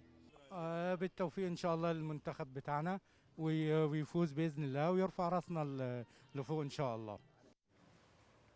إحنا مش هنبني على ماتش كوت ديف- كوت ديفوار بس وده يمكن اللي كنا حتى لسه من شوية بنقوله إنه آه هو أدائنا أداء منتخبنا في م- مباراتنا مع كوت ديفوار بتدينا دفعه طبعا وحسستنا بثقة جدا في نفسنا لإنه إحنا لعبنا كويس قوي مع فريق تقيل. آه، لكن برضو مش هينفع نبني على ده بس. كنا. بنتكلم في في النقطة دي من شوية. مظبوط مظبوط. آه، شايف ال- النهارده أكبر تحدي ممكن يبقى قصاد اللعيبة إيه؟ آه إن هم يكملوا بنفس المستوى اللي ظهروا عليه كوت ديفوار إن هم يفضلوا هم عندهم إصرار حاليا حاليا إن هم يقولوا إن إحنا آه عندنا حلم إن إحنا ناخد البطوله عندهم في دافع كبير إن هم ياخدوا البطولة. هم مهم إن هم يكملوا بال بال بالشكل ده. مهم كمان إن هم يوصلوا رسالة للجمهور إن إحنا حتى لما نلاعب السنغال في المباراة الفاصلة إحنا أكبر من السنغال إحنا صحيح. منتخب أكبر من السنغال إحنا اسم كبير واسم مهم في في الكورة إحنا إحنا يعني سبع آه، ألقاب بس- بس افريقيه تبقى- يعني بس سادة تبقى. بثقة. نلعبهم بثقة مش طبعاً. بغرور طبعا ثقة طبعا مش بغرور عشان طبعاً. إحنا لينا لينا يعني حوادث قبل طبعاً. كده زمان لا وفي طبعاً. لا كنا بنلعب حتى البطولة كنا دي كنا. بنلعب برضو ب- بسنس فيه غرور شوية وثقة زيادة في النفس فكان في استسهال في اللعب لا إحنا بنتكلم في الصح دي لا، طبعا بنتكلم إن إحنا يبقى عندنا ثقة. ان إحنا نثق كمان في إمكانياتنا لأن أنا أنا فعلا شايف المجموعة الحالية دي مجموعة صحيح. متميزة. بنظر المجموعة الحالية في آه، عناصر جديدة ظهرت في المجموعة الحالية. آه، محمد عبد المنعم آه، عمر مرموش وصحيح كان من قبلها بشوية لكن ظهر وتألق خصوصا في مات- ماتش كوت ديفوار كان أدى شوط أول هايل. كان شوط كويس. آه، عندك آه، عمر كمال عبد الواحد. آه، أدى ماتش مفاجأة كبيرة بصراحة. زيزو كنا متوقعين لكن أثبت جدارته أيضا في البطولة إيه. المكاسب ال- مكاسب اللاعبين من البطولة من بطولة كأس الأمم؟ الثقة. الثقة الثقة الكبيرة اللي أخدوها في نفسهم كمجموعة. آه كمان المجموعة الحالية دي يمكن دي كانت من شوية من الحاجات السلبية قبل البطولة إن المجموعة الحالية دي ما لعبتش مع مع بعض ماتش تحضير لأمم إفريقيا. فتاخدوا أغلب المجموعة دي حتى لو راحوا كأس العرب ما خدوهمش في كأس الأمم. آه بالظبط. فهم ما لعبوش مع بعض. يمكن دلوقتي بقى ال- المجموعة دي خلاص انت دلوقتي عندك شكل ثابت للمنتخب عندك تشكيل ثابت للمنتخب بيدخل لعيبة بتخرج لعيبة لكن انت عندك شكل ثابت. عندنا مكاسب كبيرة جدا. يعني النهارده مثلا إصابة محمد شناوي آه ربنا يشفيه ويرجع أفضل إن شاء الله. لما لعب أبو جبل كان. نجم مباراة. وتصدى لركلة جزاء صحيح آه محمد عبد وما المنعم حسسناش خالص بإصابة. الشناوي اللي. حصلت وقلوبنا. وقعت طبعا خوفا على. الشناوي وخوفا على بقية المباراة مظبوط ما حسسناش خالص إن في حاجة مظبوط وده مثلا دي إيجابية للمنتخب محمد آه، محمود الو- الونش لما اتصاب لعب محمد عبد المنعم محمد عبد هايل. المنعم هو مفاجاه البطولة بالكامل هو يعتبر من أفضل اللاعبين في البطولة آه، حتى الآن آه، دخول أيمن أشرف لما لعب كان كويس آه، أحمد فتوح. فتوح, لما رجع أضاف طبعاً. كتير و- جدا وكان الناس بتنتقد. أو بتتحفظ على أحمد فتوح في الشق الدفاعي لكن بالظبط ماتش ماتش كوت ديفوار كان أنا هايل. بالنسبة لي man of the كان حاطط match Pépé يعني. يعني بصراحة أنا بالنسبة لي كان طبعا يعني هو لعب على اخطر يعني أفضل ثلاث لعيبة في كوت ديفوار يعني أنا ومع بشكرك. ذلك قدر إن هو يواجههم وكان. أفضل منهم تفوق طبعاً. عليهم شكراً شكرا جزيلاً. هتتفرج على الماتش فين؟ بسرعة بسرعة. آه، هتفرج في الجورنال في الجورنال. لوحدك ولا لا مع الزملاء؟ لا مع الزملاء. أنا بفضل أتفرج لوحدي بس عشان شغلي. حكم الشغل. شكرا جزيلا يا أستاذ محمد. الاستاذ محمد البراوي شكرا ليك يا فندم. نورتنا. من قبل 2019 سنة 2019 بمدة مش كبيرة قوي آه، سمعنا الدولة المصرية بتتكلم على خطط تطوير في مناطق كثيرة جدا في أنحاء الجمهورية. وبعدين سمعنا اسم مثلث ماسبيرو. وهنا الحقيقة آه، ناس كتيرة قوي قالت لك أيوة إيه اللي هيحصل بالظبط؟ الفكرة حتى بصفة عامة إنه يعني إيه نطور منطقة سكنية؟ طب والناس دي هتعمل إيه؟ والناس دي هتروح فين؟ والمنطقة هتتطور إزاي؟ طب ما الناس هناك ساكنة بقالها سنين. وبعدين كنت تسمع من بعض الأهالي نفسهم كان في كم كبير جدا من التخوف. لا إحنا هنطلع من هنا هو إحنا هنرجع تاني. طب هو نروح مكان تاني؟ طب ما هنا أقرب لأشغالنا. وده تخوف طبيعي ومنطقي جدا ومشروع جدا جدا. والحقيقة إنه الطريقة اللي اتعاملت بيها الدولة المصرية آنذاك في التواصل مع المواطنين آه، من ساكني هذه المنطقة منطقة مثلث ماسبيرو كان في منتهى التحضر والرقي. لأنه ما كانش في حاجة اسمها إنه سؤالك آه، ملوش لازمة أو ما ينفعش تسأل أو سؤالك مش مشروع. بالعكس كان في شرح وتوضيح خطوة بخطوة. إيه الخطط اللي هتحصل من قبل ما يحصل أي حاجة؟ من قبل حتى ما نتكلم معاهم عن أي حاجة. إيه الخطط اللي هتحصل؟ شكل هذه المنطقة بعد التطوير. الأهالي اللي هيتم نقلهم بشكل مؤقت هيروحوا فين؟ إيه الخيارات اللي قدامهم؟ لأنه في أكتر من خيار كان موجود وطبعا كل وسائل الإعلام آنذاك اتكلمت عن ده.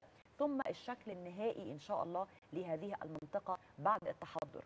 ولما بنتكلم على فكرة إنه المناطق الغير آمنة المناطق اللي فيها عشوائية في البنى وعشوائية حتى في الشكل وبعدين حتى دي منطقة حيوية جدا. أنت على بعد أمتار من ماسبيرو التلفزيون المصري نفسه اللي هو يعني يعني من من من, من أجمل الأماكن والمناطق اللي ممكن تكون ماشي فيها على نيل القاهرة على طول. عندك مداخل ومخارج بتدخلك على الزمالك والمهندسين يعني منطقة حيوية جدا. فإنه يحصل فيها هذا التطوير وفي زمن قياسي جدا وإن شاء الله المنتج النهائي يكون شيء سار جدا جدا. ده موضوع كان لازم نتابعه وحبينا في هذا الصباح نتكلم فيه ونعرف النهارده الدولة المصرية وصلت لفين في التعامل مع تطوير مثلث ماسبيرو. ضيفنا الكريم اللي منورنا في الاستوديو المهندس نسيم سليم مدير مشروع تطوير مثلث ماسبيرو. صباح الخير يا باشمهندس. أهلا وسهلا. أهلا بحضرتك يا باشمهندس في البداية خلينا نتكلم عن آه، أو بما وصلت إليه هذا وصل إليه هذا المخطط وهذا المشروع تطوير مثلث آه، ماسبيرو. نعرف إيه تفاصيل المشروع وما وصلتم إليه في المخطط. هو في البداية طبعا كان قرار جريء من فخامة الرئيس عبد الفتاح السيسي بتطوير منطقة مثلث مسبيرو مم. منطقة مثلث مسبيرو كانت منطقة عشوائية ذات خطورة من الدرجة الثانية. طبعا كانت حرصه الشديد على توفير سكن آمن للمواطن المصري أمر بالتطوير. بدأت محافظة القاهرة بالتعاون مع صندوق تطوير المناطق الحدائق العشوائية في تحديد الملكيات الموجودة للناس اللي كانت موجودة وحصر الملكيات كل واحد آه، آه، وشافت رغبات الناس. في ناس آه، خدت تعويض مادي في ناس خدت وحدات سكنية في أماكن أخرى في ناس قالت لا إحنا عايزين نرجع تاني منطقة مثلث مسبيرو إحنا مرتبطين بالمكان وعايزين نرجع. وطبعا الدولة آه، قالت ماشي حاضر ولبينا طلبهم وبدأنا بالعمل في آه، في شهر 6 2019 في. منطقة الإسكان البديل. منطقة الإسكان البديل دي عبارة عن أربع أسك... أربع أبراج سكنية مو... أر- أربع أبراج موجودين. في منهم برجين آه، خاصين بالسكن البديل اللي هم للناس اللي كانت راغبة في العودة مرة تانية إلى منطقة مثلث مسبيرو آه، دي عدد وحدات عندي مج- آه، 936 وحدة. آه، إحنا فعلا آه، الدولة وعدت الناس وأوفت بالوعد. كانت الناس بتشكك في قدرة الدولة المصرية صحيح. وعدم صدق الكلام. بس كان الكلام ده كله عاري تماما من الصحة. الناس وقتها يا باشمهندس كانت معذورة يعني بتجارب سابقة وبحكومات سابقة وبأنظمة سابقة. كان الموضوع كانوا يعني أعلن مرارا وتكرارا يتم تطوير المنطقة. ووقتها في 2016 و2017 ما كانش في نموذج آه، عملته الدولة ومن ثم الناس شافوه. فاقتنعوا وبقى عندهم ثقة إن الحكومة هتعمل كده. لكن بعد ما شافوا اللي حصل في الأسمرات واللي حصل في أماكن مختلفة في ال- في الجمهورية خلاص الثقة دي بقت موجودة عند المواطن إن الدولة هترجعه مكانه بل بشكل أكثر أدمية وأكثر حضارة. هو طبعا فخامة الرئيس كان حريص كل الحرص آه، آه، إن هو يدي القرارات الحاسمة والناس آه، يعني خدت ثقة في كلام الدولة المصرية. والكلام موجود حقيقة دلوقتي الأبراج موجودة في الطبيعة. عندنا برجين موجودين بارتفاع 18 طابق آه، 936 وحدة. الوحدات هتكون مشطبة تشطيب كامل آه، بحيث الساكن هي هيستلم الوحدة بتاعته مفتاح الوحدة بتاعته هيجيب الفرش بتاعه ويسكن. آه، طبعا آه، ال- ال- الأبراج اللي موجودة دي آه، تشطيب آه، يعني أعلى من الإسكان الاجتماعي. آه، كل الخدمات أعلى من الإسكان الاجتماعي. طبعا الكهرباء آه، تليفونات آه، البنية التحتيه كله كلها. تمام كله ده كله. كنت هسأل حضرتك فيه لأنه الرئيس من فترة الحقيقة كان بيتكلم وكان بيتكلم بحزم قوي في النقطة دي وكان بيقول مفيش سكن يتسلم لمواطن إلا وهو مكتمل الخدمات وال- والبنية. يعني مفيش حاجة اسمها إن أنا أسلم مواطن وحدة سكنية وأقول له استلم بس كمان أربع شهور الكهرباء هتدخل. لا لا استلم بس قدام إن شاء الله الغاز هيدخل لك. لا, لا لا كله يدخل مع لا، بعض الوحدة السكنية فده هتبقى بينطبق على مثلث. مية آه، تليفونات غاز كله آه، نظام. عدادات مسبقة الدفع وده نظام جميل جدا آه، طبعا آه، المنطقة مثلث مسبيرو في منطقة الإسكان البديل برضو في عندي في برجين تانيين خلاف الأبراج بتاعة السكن البديل في برج سكني عندي استثماري وحدات برضو لو حد عايز ان هو يمتلك. يمتلك مم. سكنيه في مسبيرو هتبقى موجودة إن شاء الله بنعيد خطة تسويقية لهذا البرج. وفي برج إداري برضو عندي موجود في منطقة الإسكان البديل. يعني معلش سؤال يا باشمهندس الأربع أبراج سكنية. الأربع أبراج اتنين آه، خاصين بالسكن البديل. السكن البديل اللي كانوا هم قاعدين. الناس الأهالي اللي كانوا هناك اللي كانوا هناك وقلنا و- لهم سيبوا لنا المكان نوضب ونطور وتعالوا استلموا. صح كده؟ دول. برجين. وبرج إداري برج وبرج للتمليك بقى برج اللي مفتوح برج. وحدات سكنية برضه دي استثمارية برضه. لو في حد عايز يمتلك وحدة سكنية في مثلث مسبيرو هيلاقي له مكان إن شاء مم. الرحمن. والبرج الإداري دي وحدات إدارية عيادة دكتور مكتب محاماة مكتب دي منطقة حيوية جدا كمان. طبعا. هي بحكم إنها موجودة في وسط القاهرة على النيل وجنب مسبير وزارة الخارجية وخلافة. عدد إجمالي عدد الوحدات السكنية الموجودة هناك كام؟ سواء البديل أو حتى الاستثماري. الوحدات السكنية البديلة 936 وحدة مم. الوحدات البديلة 134 وحدة البرج الاستثماري عندي بارتفاع 23 طابق البرج السكن البديل ده 18 طابق مم. البرج البرج الإداري ده بارتفاع 15 طابق. يعني في 1000 وحدة وحدة سكنية سواء بديل أو تقريبا استثماري آه تقريبا. تقريبا دول. موجودين برضو. آه، طبعا إحنا بننهي آه، بدأنا في 6 2019 آه، انتهينا من مراحل الخرسانات والمباني والعزل وشغالين في التشطيبات ووصلنا مرحلة متقدمة جدا. آه إحنا وصلنا لفين النهارده حوالي باشمهندس؟ 15 85% من آه، الشغل المشروع. آه، الكمية البسيطة يعني فترة زمنية بسيطة وإن شاء الله هنكون أنجزنا الوحدات. مم. وإحنا بدأنا في ترقيم الوحدات وبعتنا الأرقام فعلا لمحافظة القاهرة لأن هي اللي هتكون مسؤولة عن التسكين. إحنا آه. نفذنا الوحدات آه، بالمساحات المطلوبة طبعا النماذج اللي موجودة في عندي نموذجين موجودين للوحدات السكنية في عندي نموذج وحدة آه، غرفتين ومطبخ وحمام وصالة وفي عندي ثلاث غرف ومطبخ وحمامين المساح وصالة المساحات معلش قد إيه تاني؟ المساحات مساحات مختلفة مم. يعني كلا على حسب يعني كل نموذج فيه مساحات مم. مختلفة آه، بناء على المساحات اللي هي محافظة القاهرة اتفقت مع الناس اللي كانت آه. موجودة آه. وكانت دخل. في آه. العودة مرة تانية مم. مم. فالمساحات آه، بال- اللي طلبت مننا إحنا نفذناها في الطبيعة آه، طبعا الناس اللي كانت موجودة برضو الدولة ما تخلتش عنهم الدولة ادتهم قيمة إيجارية استأجرت لهم آه، أماكن. إيجارية صحيح. دفعنا قيمة إيجارية مم. للناس اللي هم آه، سابوا الوحدات بتاعتهم وطلعوا سكنوا في أماكن أخرى مم. فبرضه أنا عايز أتكلم عن نقطة مهمة يا باشمهندس. إحنا لو نشوف الصورة اللي إحنا آه، اللي على شمال الشاشة دلوقتي الأبراج اللي موجودة في العاصمة ال- في في- عفوا في في- وهي شكل العاصمة الإدارية عموما يعني في في منطقة مثلث مسبيرو مقارنة بالوضع اللي كان موجود من النقيض للنقيض. يعني إحنا كنا بنروح هناك في آه، مثلث مسبيرو أي حد أي صحفي كان شغال في قناة أجنبية وحتى وسيلة إعلام أجنبية عايز يصور عشوائيات اقرب منطقة كانت موجودة مثلث مسبيرو كنا على طول بنروح نصور هناك ونسمع الناس الناس اللي بتشتكي وأوضاعهم الاقتصادية وأوضاعهم الاجتماعية آه، الصعبة برغم موقعهم الاستراتيجي الهام في وسط القاهرة وقدام مسبيرو وجنب وزارة الخارجية وجنب مؤسسات صحفية آه، آه، كبيرة. أنا مش عارف عندنا الصورة القديمة ولا لأ لكن أكيد الناس كلها محفورة في ذاكرتنا وأذهاننا. الصورة دي الصورة القديمة لمثلث مسبيرو. فرق من النقيض للنقيض. يعني إحنا كنا بنتكلم على منطقة عشوائية وغير مخططة بقينا دلوقتي بنتكلم على أبراج صحيح. والأبراج دي من حق السكان من حق المواطنين اللي كانوا قاعدين في نفس طبعا المنطقة. طبعا يعني هو طبعا الوضع كان الأول كان وضع سيء وغير آمن غير آمن تماما. آه، طبعا إحنا قعدنا تخطيط المثلث مكتب استشاري خد المنطقة كلها وبنخطط إعادة تقسيم المنطقة بالكامل. ما بين إبراج سكنية ما بين إبراج ما بين آه، إداري في أماكن ترفيهية في أماكن تنسيق موقع في آه، براكن موجودة. في عروض شوارع موجودة بعروض 30 متر و25 متر كل الكلام ده كان مش موجود قبل كده.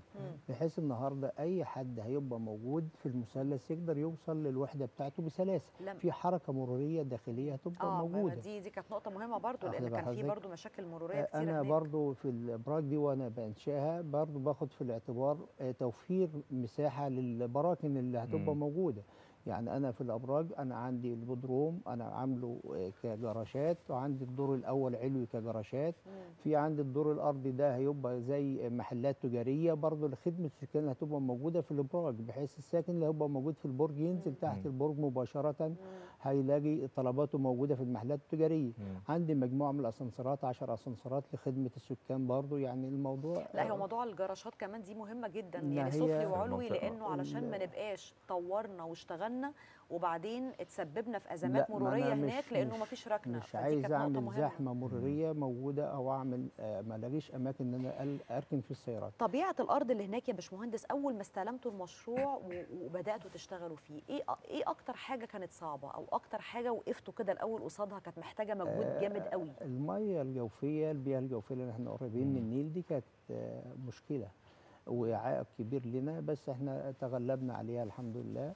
وقدرنا ان إحنا آه، نتغلب على موضوع المياه الجوفية دي وبرضه مشكلة تانية مم. كبيرة ان أنا إزاي اشيل المخلفات بتاعتي وازاي ادخل الماتيريال بتاعتي في منطقة حيوية زي. مثلث مسبيرو مم. فبرضه كنا بنشتغل 24 ساعة آه، إحنا بنشتغل برضه حاولنا ان إحنا نوفر مم. خلاطات خرسانة موجودة في منطقة مثلث مسبيرو. كان عندي خلاطتين موجودين لخدمة المثلث من إنتاج الخرسانة اللي أنا. محتاجها عشان أقدر أشتغل 24 ساعة. خصوصا المنطقة منطقة مزدحمة وفيها كثافة سكانية آه، آه، مرتفعة في وسط البلد. هنكمل هذه النقطة تحديدا. يا باشمهندس لكن اسمح لي نروح للزميل أحمد عبد الرازق.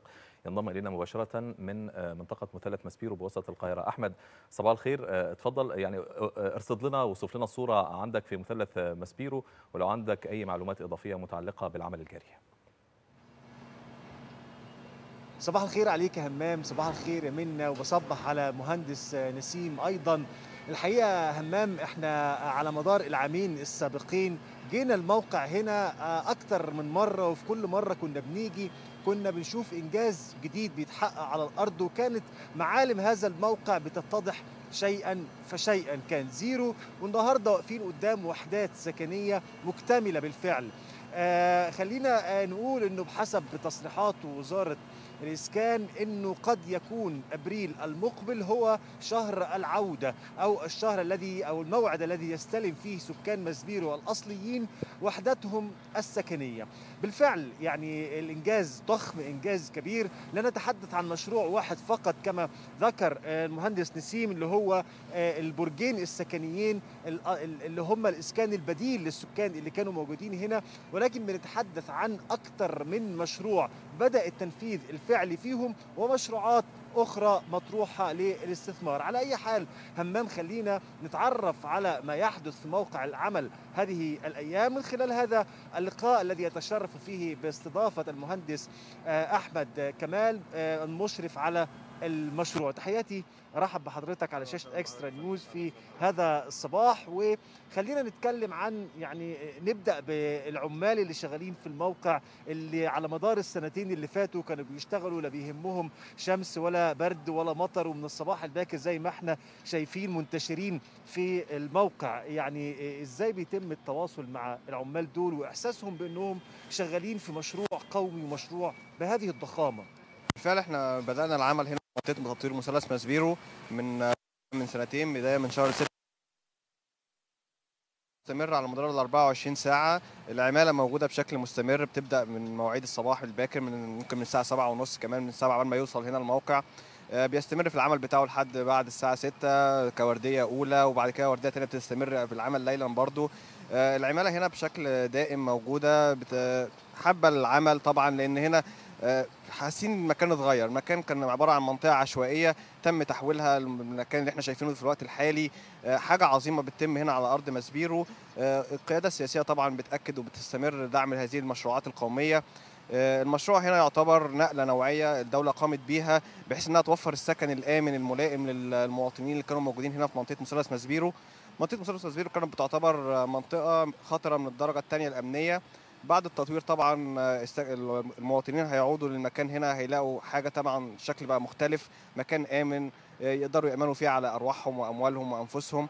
الدولة طبعا هنا بذلت جهد غير عادي في الوصول لهذا المستوى اللي إحنا شايفينه. يا باشمهندس إحنا يمكن واقفين في حضن المشروع أو في حضن الموقع ورايا البرجين السكنيين اللي هو الأبراج البديلة أو السكن البديل اللي كل برج فيه عبارة عن خمس عمارات. حضرتك هتكلمنا عنهم بالتفصيل. ومن هنا البرج الإداري ومن هنا البرج الاستثماري. حضرتك ذكرت إنه بعض العمال اللي بيشتغلوا في الموقع هم من السكان الأصليين اللي كانوا ساكنين هنا في مسبيرو ويمكن نقدر نقول إنهم بيبنوا وحداتهم بإيديهم. حضرتك تعاملت معاهم؟ بالفعل في هنا بعض الناس من اللي كانوا ليهم الرغبة في العودة لمنطقة مثلث مسبيرو ووجدوا بعض فرص العمل داخل المشروع، المشروع مشروع قومي، مشروع كبير بيضم عمالة جميع من جميع الفئات ومن جميع التخصصات، وجدوا فرصة عمل ملائمة ليهم، بالفعل هو حاسس إن هو بيبني وحدته بنفسه، هو شايف هو بيبني إيه لنفسه. يعني هو موجود شغال مع مع الناس اللي موجودة شغالة في قلب الموقع. شايف شايف الحاجة اللي بيعملها لنفسه. يعني هو بي بالفعل بيبني وحدته اللي هيجي يرجع ليها خلال الأسابيع القادمة إن شاء الله. طيب الوحدة اللي هيسكن فيها دي خلينا نتكلم عن عن تشطيباتها. يعني المكان طبعا اللي هم كانوا ساكنين فيه آه، زي ما ذكر زميلي همام ويمكن شفنا الصور مع مشاهدينا الكرام حاجة يعني آه، آه، غير مخططة ويعني لا تصلح ل- ل- لإقامة حياة كريمة لمواطن مصري. الشقق النهاردة آه، تشطيبها عامل إزاي؟ ومساحاتها عاملة إزاي؟ وإمكانياتها عاملة إزاي؟ بالفعل المنطقة قبل التطوير كانت عبارة عن منطقة عشوائية تماما ما فيش فيها أي مظاهر من مظاهر الجمال أو الرقي اللي المفروض كانت تتمتع بيه القاهرة. آه، الدولة سعت في الاتجاه ده بالفعل. آه، الأعمال هنا بتتم على أعلى مواصفات فنية موجودة. الناس لامسة ده بشكل واضح. إحنا شغلنا مكشوف. آه، الناس كلها ماشية رايحة جاية عليه. شايفة إيه اللي بيتم على أرض الواقع. آه، المستوى التشطيب طبعا جوه على أعلى مستوى. آه، تم آه، الالتزام بجميع المواصفات الفنية للكود المصري والأعمال المواصفات الفنية اللي إحنا نشتغل بيها بحيث إن إحنا نقدم حاجة للمواطن اللي راجع يفخر ببلده وي- ويحس فعلا إن هو الدولة ما خرجتوش من المكان اللي هو كان عايش فيه لمجرد إنها عايزة تخرجه لأ هي كانت عايزة تخرجه وترجعه لمكان أفضل وشكل أفضل وحياة أفضل من اللي كان عليها. أنا بشكرك شكرا جزيلا يا باشمهندس على كل هذه المعلومات وهذا الإيضاح. إذا همام هذا ما يحدث في مثلث مسبيرو وهذا ما رصدناه كما ذكرت على مدار العامين السابقين. كان لنا عدة رسائل من هذا الموقع تحديدا وكنا نرى آه، معالم هذا المكان تطرح شيئا فشيئا. ويعني آه، آه، متحمس أن أكون في هذا الموقع في أبريل القادم عند استلام أصحاب مثلث مسبيرو أو سكان مثلث مسبيرو الأصليين لوحدتهم السكنية. أعتقد أن هذا سوف يكون حدثا مهما ليس لهم فقط ولكن أيضا للمصريين بشكل عام حتى آه، يكون الأمر كما ذكر دكتور نسيم في آه، آه، منذ قليل أن الدولة المصرية وعدت فأوفت. أعود صحيح. إليك همام. أحمد عبد الرازق مراسلنا من مثلث مسبير وشكرا جزيلا لك على كل هذه التفاصيل وشكرا للمهندس أحمد وشكرا لكل العاملين في هذا الموقع وفي المواقع المختلفة من أنحاء ال- الجمهورية. الحقيقة إن مشروع مثلث مسبيرو مش فقط تطوير للمنطقة هو تطوير للمنطقة وللناس اللي عايشة في المنطقة وللناس وده الأهم طبعا للناس اللي ساكنة في المنطقة اللي كانت ساكنة في المنطقة. لسه معاكم مشاهدينا الأعزاء للحديث عن مثلث مسبيرو آه، ال- لا زال معنا أيضا المهندس آه، المهندس نسيم. الحقيقة إنه وزميلنا بيتكلم عجبني مصطلح أو وصف إنه هو بيتكلم يعني عن إعلان الحكومة المصرية عن احتماليات آه، قرب تسليم إن شاء الله المشروع ربما. في شهر إبريل القادم ده بإذن الله هو بيقول إنه البداية طبعا هتكون التسليم ليه أو وفقا لقرار الحكومة أو بيان الحكومة هيكون التسليم لأصحاب ال- ال- السكن اللي كانوا موجودين في الأول الأصليين الكلمة دي عجبتني واحترمتها قوي لإنه زي ما كنت بقول في الأول خالص إنه في قبل 2019 لما اتقال إنه هيبقى في تطوير في المنطقة دي كان في تساؤلات ومخاوف كتيرة جدا. والحقيقة إنه تعامل الدولة مع المواطن ساكن المكان ده على إنه أنت مش مواطن فإحنا بندي لك أمر نقول لك عن إذنك اتفضل بره علشان إحنا عايزين نطور هنا. لأ التعامل كان على إنك شريكي. إحنا شركاء مع بعض. إحنا الدولة اللي عندنا الإمكانيات والخطط والمشروعات وأنت المواطن صاحب المكان هنا أنت بس هتطلع بره علشان إحنا نقدر نطور لك أنت صحيح. المكان ده مم. فترجع مرة تانية بس بشكل مختلف مم. وب lifestyle أو أو حياة مختلفة تماما ده اللي إحنا شايفينه دلوقتي على الأرض يعني من 3 4 سنين لما كنا نقول المنظر اللي إحنا شايفينه دلوقتي والفرق الكبير قوي الأبراج ال ال الشوارع لسه كمان مع الوصف اللي بيقوله الباشمهندس نسيم الجراجات ال ال ال الوحدات السكنية ال- المولات التجارية كل الحاجات دي البرج السكني والبرج الإداري أو الأبراج السكنية والبرج الإداري كل الحاجات دي لما نشوفها بقى على أرض الواقع ونقارن كده أصل هي الصور لسه موجودة الصور القديمة لسه موجوده هو مش قديم قوي يعني كمان يعني ونعمل مقارنة. كده سريعة لا أعتقد إنه آه يعني هيبان قوي قوي الفرق وهيبان النية الحقيقية للتطوير اللي هي مبنية على أرض الواقع واللي المواطن صاحب المكان نفسه بيشوفه ومش بعد مدة طويلة قوي صحيح ده إضافة بس يا منى إجراءات سريعة يعني اللي بتحصل. على عكس ما كان يروج في بداية المشروع وحضرتك أكيد كنت شايفها يا باشمهندس نسيم إن كان بيقول الم- المنطقة دي هتتعمل لرجال الأعمال هتتباع لجنسيات مختلفة هتتباع للناس اللي معاهم فلوس. الدولة نفذت هذا المشروع في الأساس للمواطن البسيط. طبعاً. المواطن الموجود وده أعظم المواطن الموجود في المنطقة اللي كان عايش في المنطقة. والمواطن اللي كان عايش في المنطقة كان مواطن بسيط مو- مواطن بالكاد آه، يعني بيجيب يوم بيومه بيكسب بي- نعم. بي- يعني بيكتسب آه، رزقه يوم بيوم. وبالتالي آه، الدولة قررت إنها تعمل ده لصالح المواطن البسيط الموجود في نفس المنطقة. ده لرجال أعمال ومع أهمية طبعا الاهتمام برجال الأعمال وتوفير البيئة المناسبة لرجال الأعمال. لكن كان كان ال- ال- البداية وكان الأساس بالنسبة للحكومة وبالنسبة للدولة الناس الأساسيين اللي كانوا الناس موجودين هم الأصليين. الموجودة اللي كانت عايشة في المنطقة وأهم حاجة في الموضوع حضرتك زي ما بقول لحضرتك آه، ما كانش فيه تعنت من الدولة مم. يعني الدولة آه، يعني كان في ديمقراطية في التعامل مع الناس بحيث كل واحد كان نفسه اختار. في التعويض كان في مجموعة في ناس اختيارات آه في عندي آه، تعويض مادي في ناس خدت تعويض مادي في ناس خدت وحدات سكنية تع- كتعويض في أماكن أخرى في ناس قالت لا إحنا عايزين نرجع مرة تانية. لو في تعنت من الدولة كانت قالت لا محدش يرجع تاني. خدوا وحدات سكنية في أماكن تانية زيكم زي غيركم. ولكن الدولة كانت حريصه إن هي تلبي جميع الرغبات بتاعة الناس اللي موجودة البسيطة اللي موجودة في مثلث مسبير نعم. صحيح. المهندس نسيم سليم مدير مشروع تطوير مثلث ماسبيرو شكرا لحضرتك. اولا وجودك معانا. و وثانيا شكرا لحضراتكم جميعا. كل صحيح. إيد اشتغلت في هذا المشروع. وفي أي إحنا مشروع من بنشكر مشروعاتنا القوميه نشكر. أي فرد آه، إن هو بيتعاون آه، معانا في خدمة مصر. أكيد. حقيقة إنه آه، كلمة مشروع قومي ربما البعض بيعتقد إن هي حاجة ليها علاقة بالقرى. يعني ندخل على قرية كاملة نطور فيها ندخل على مدينة كاملة نطور فيها. لا مثلث ماسبيرو ده زي ما شرحنا وطول الوقت بنقول موقع استراتيجي مهم جدا جدا. يكفي إنك على بعد خطوات من آه، ماسبيرو اللي هو المنطقة كلها اخذت الاسم منه التلفزيون المصري اللي طول الوقت وإحنا رايحين جايين عليه أو حتى اسمه بيفكرنا بالريادة المصرية في الإعلام. والريادة في الوطن العربي كله لينا للإعلام. مع إنه بنتمنى طول الوقت طبعا إن كل الدول العربية يكون فيها تقدم في الإعلام لكن ريادة صحيح. الدولة المصرية في الإعلام وتاريخها بيفكرنا جدا بالاسم ده.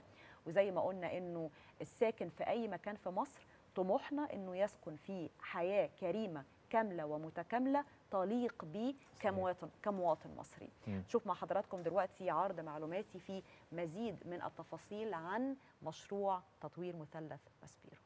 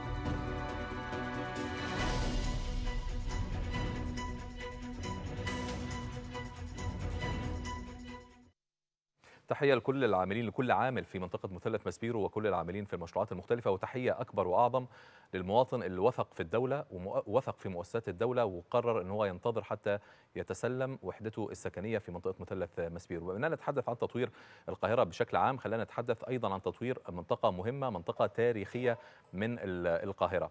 وهي منطقة آه، سور مجرى العيون. اهتمام كبير بتوليه الدولة ممثلة طبعا في وزارة الإسكان والمرافق وهيئة المجتمعات العمرانية الجديدة لتطوير المناطق والأماكن التاريخية اللي لها تاريخ كبير وعميق سواء في القاهرة أو في مختلف المحافظات. من ضمن أهم هذه المناطق اللي بتسعى الدولة لتطويرها مشروع تطوير منطقة سور مجرى العيون. هذه المنطقة بتعد أو هذا المشروع بيعد واحد من ضمن مراحل مشروع تطوير منطقة الفسطاط بمحافظة القاهرة في إطار تطوير القاهرة التاريخية وعودتها إلى ريادتها المنطقة أصلا كلها يعني مم. منطقة سور مجرى العيون طول ما حضرتك ماشي كده بالعربية وسور مجرى العيون على إيدك اليمين تحديدا أنت شايف بقى القلعة على شمالك. المنطقة كلها أصلا مصر القديمة. مصر القديمة مم. كلها آه، لأ منطقة منطقة استراتيجيك يعني استراتيجية جدا جدا كمان دي من المناطق اللي لما دخلت من فترة في التطوير برضو الناس استغربت وكلنا سألنا يعني إيه التطوير دي منطقة قديمة جدا يعني هنطور فيها هنعمل إيه مم. لكن الحقيقة إنه مشروع تطوير منطقة سور مجرى العيون هو أيضا أحد المشروعات القومية اللي الدولة المصرية اهتمت جدا بالعمل عليها والنتيجة في النهاية هترضي جدا المواطن المصري بإذن الله لأنه هو ده التطوير اللي بجد اللي كلنا كنا عايزينه في كل حتة في مصر. نتابع معا هذا العرض المعلوماتي عن تطوير منطقة سور مجرى العيون.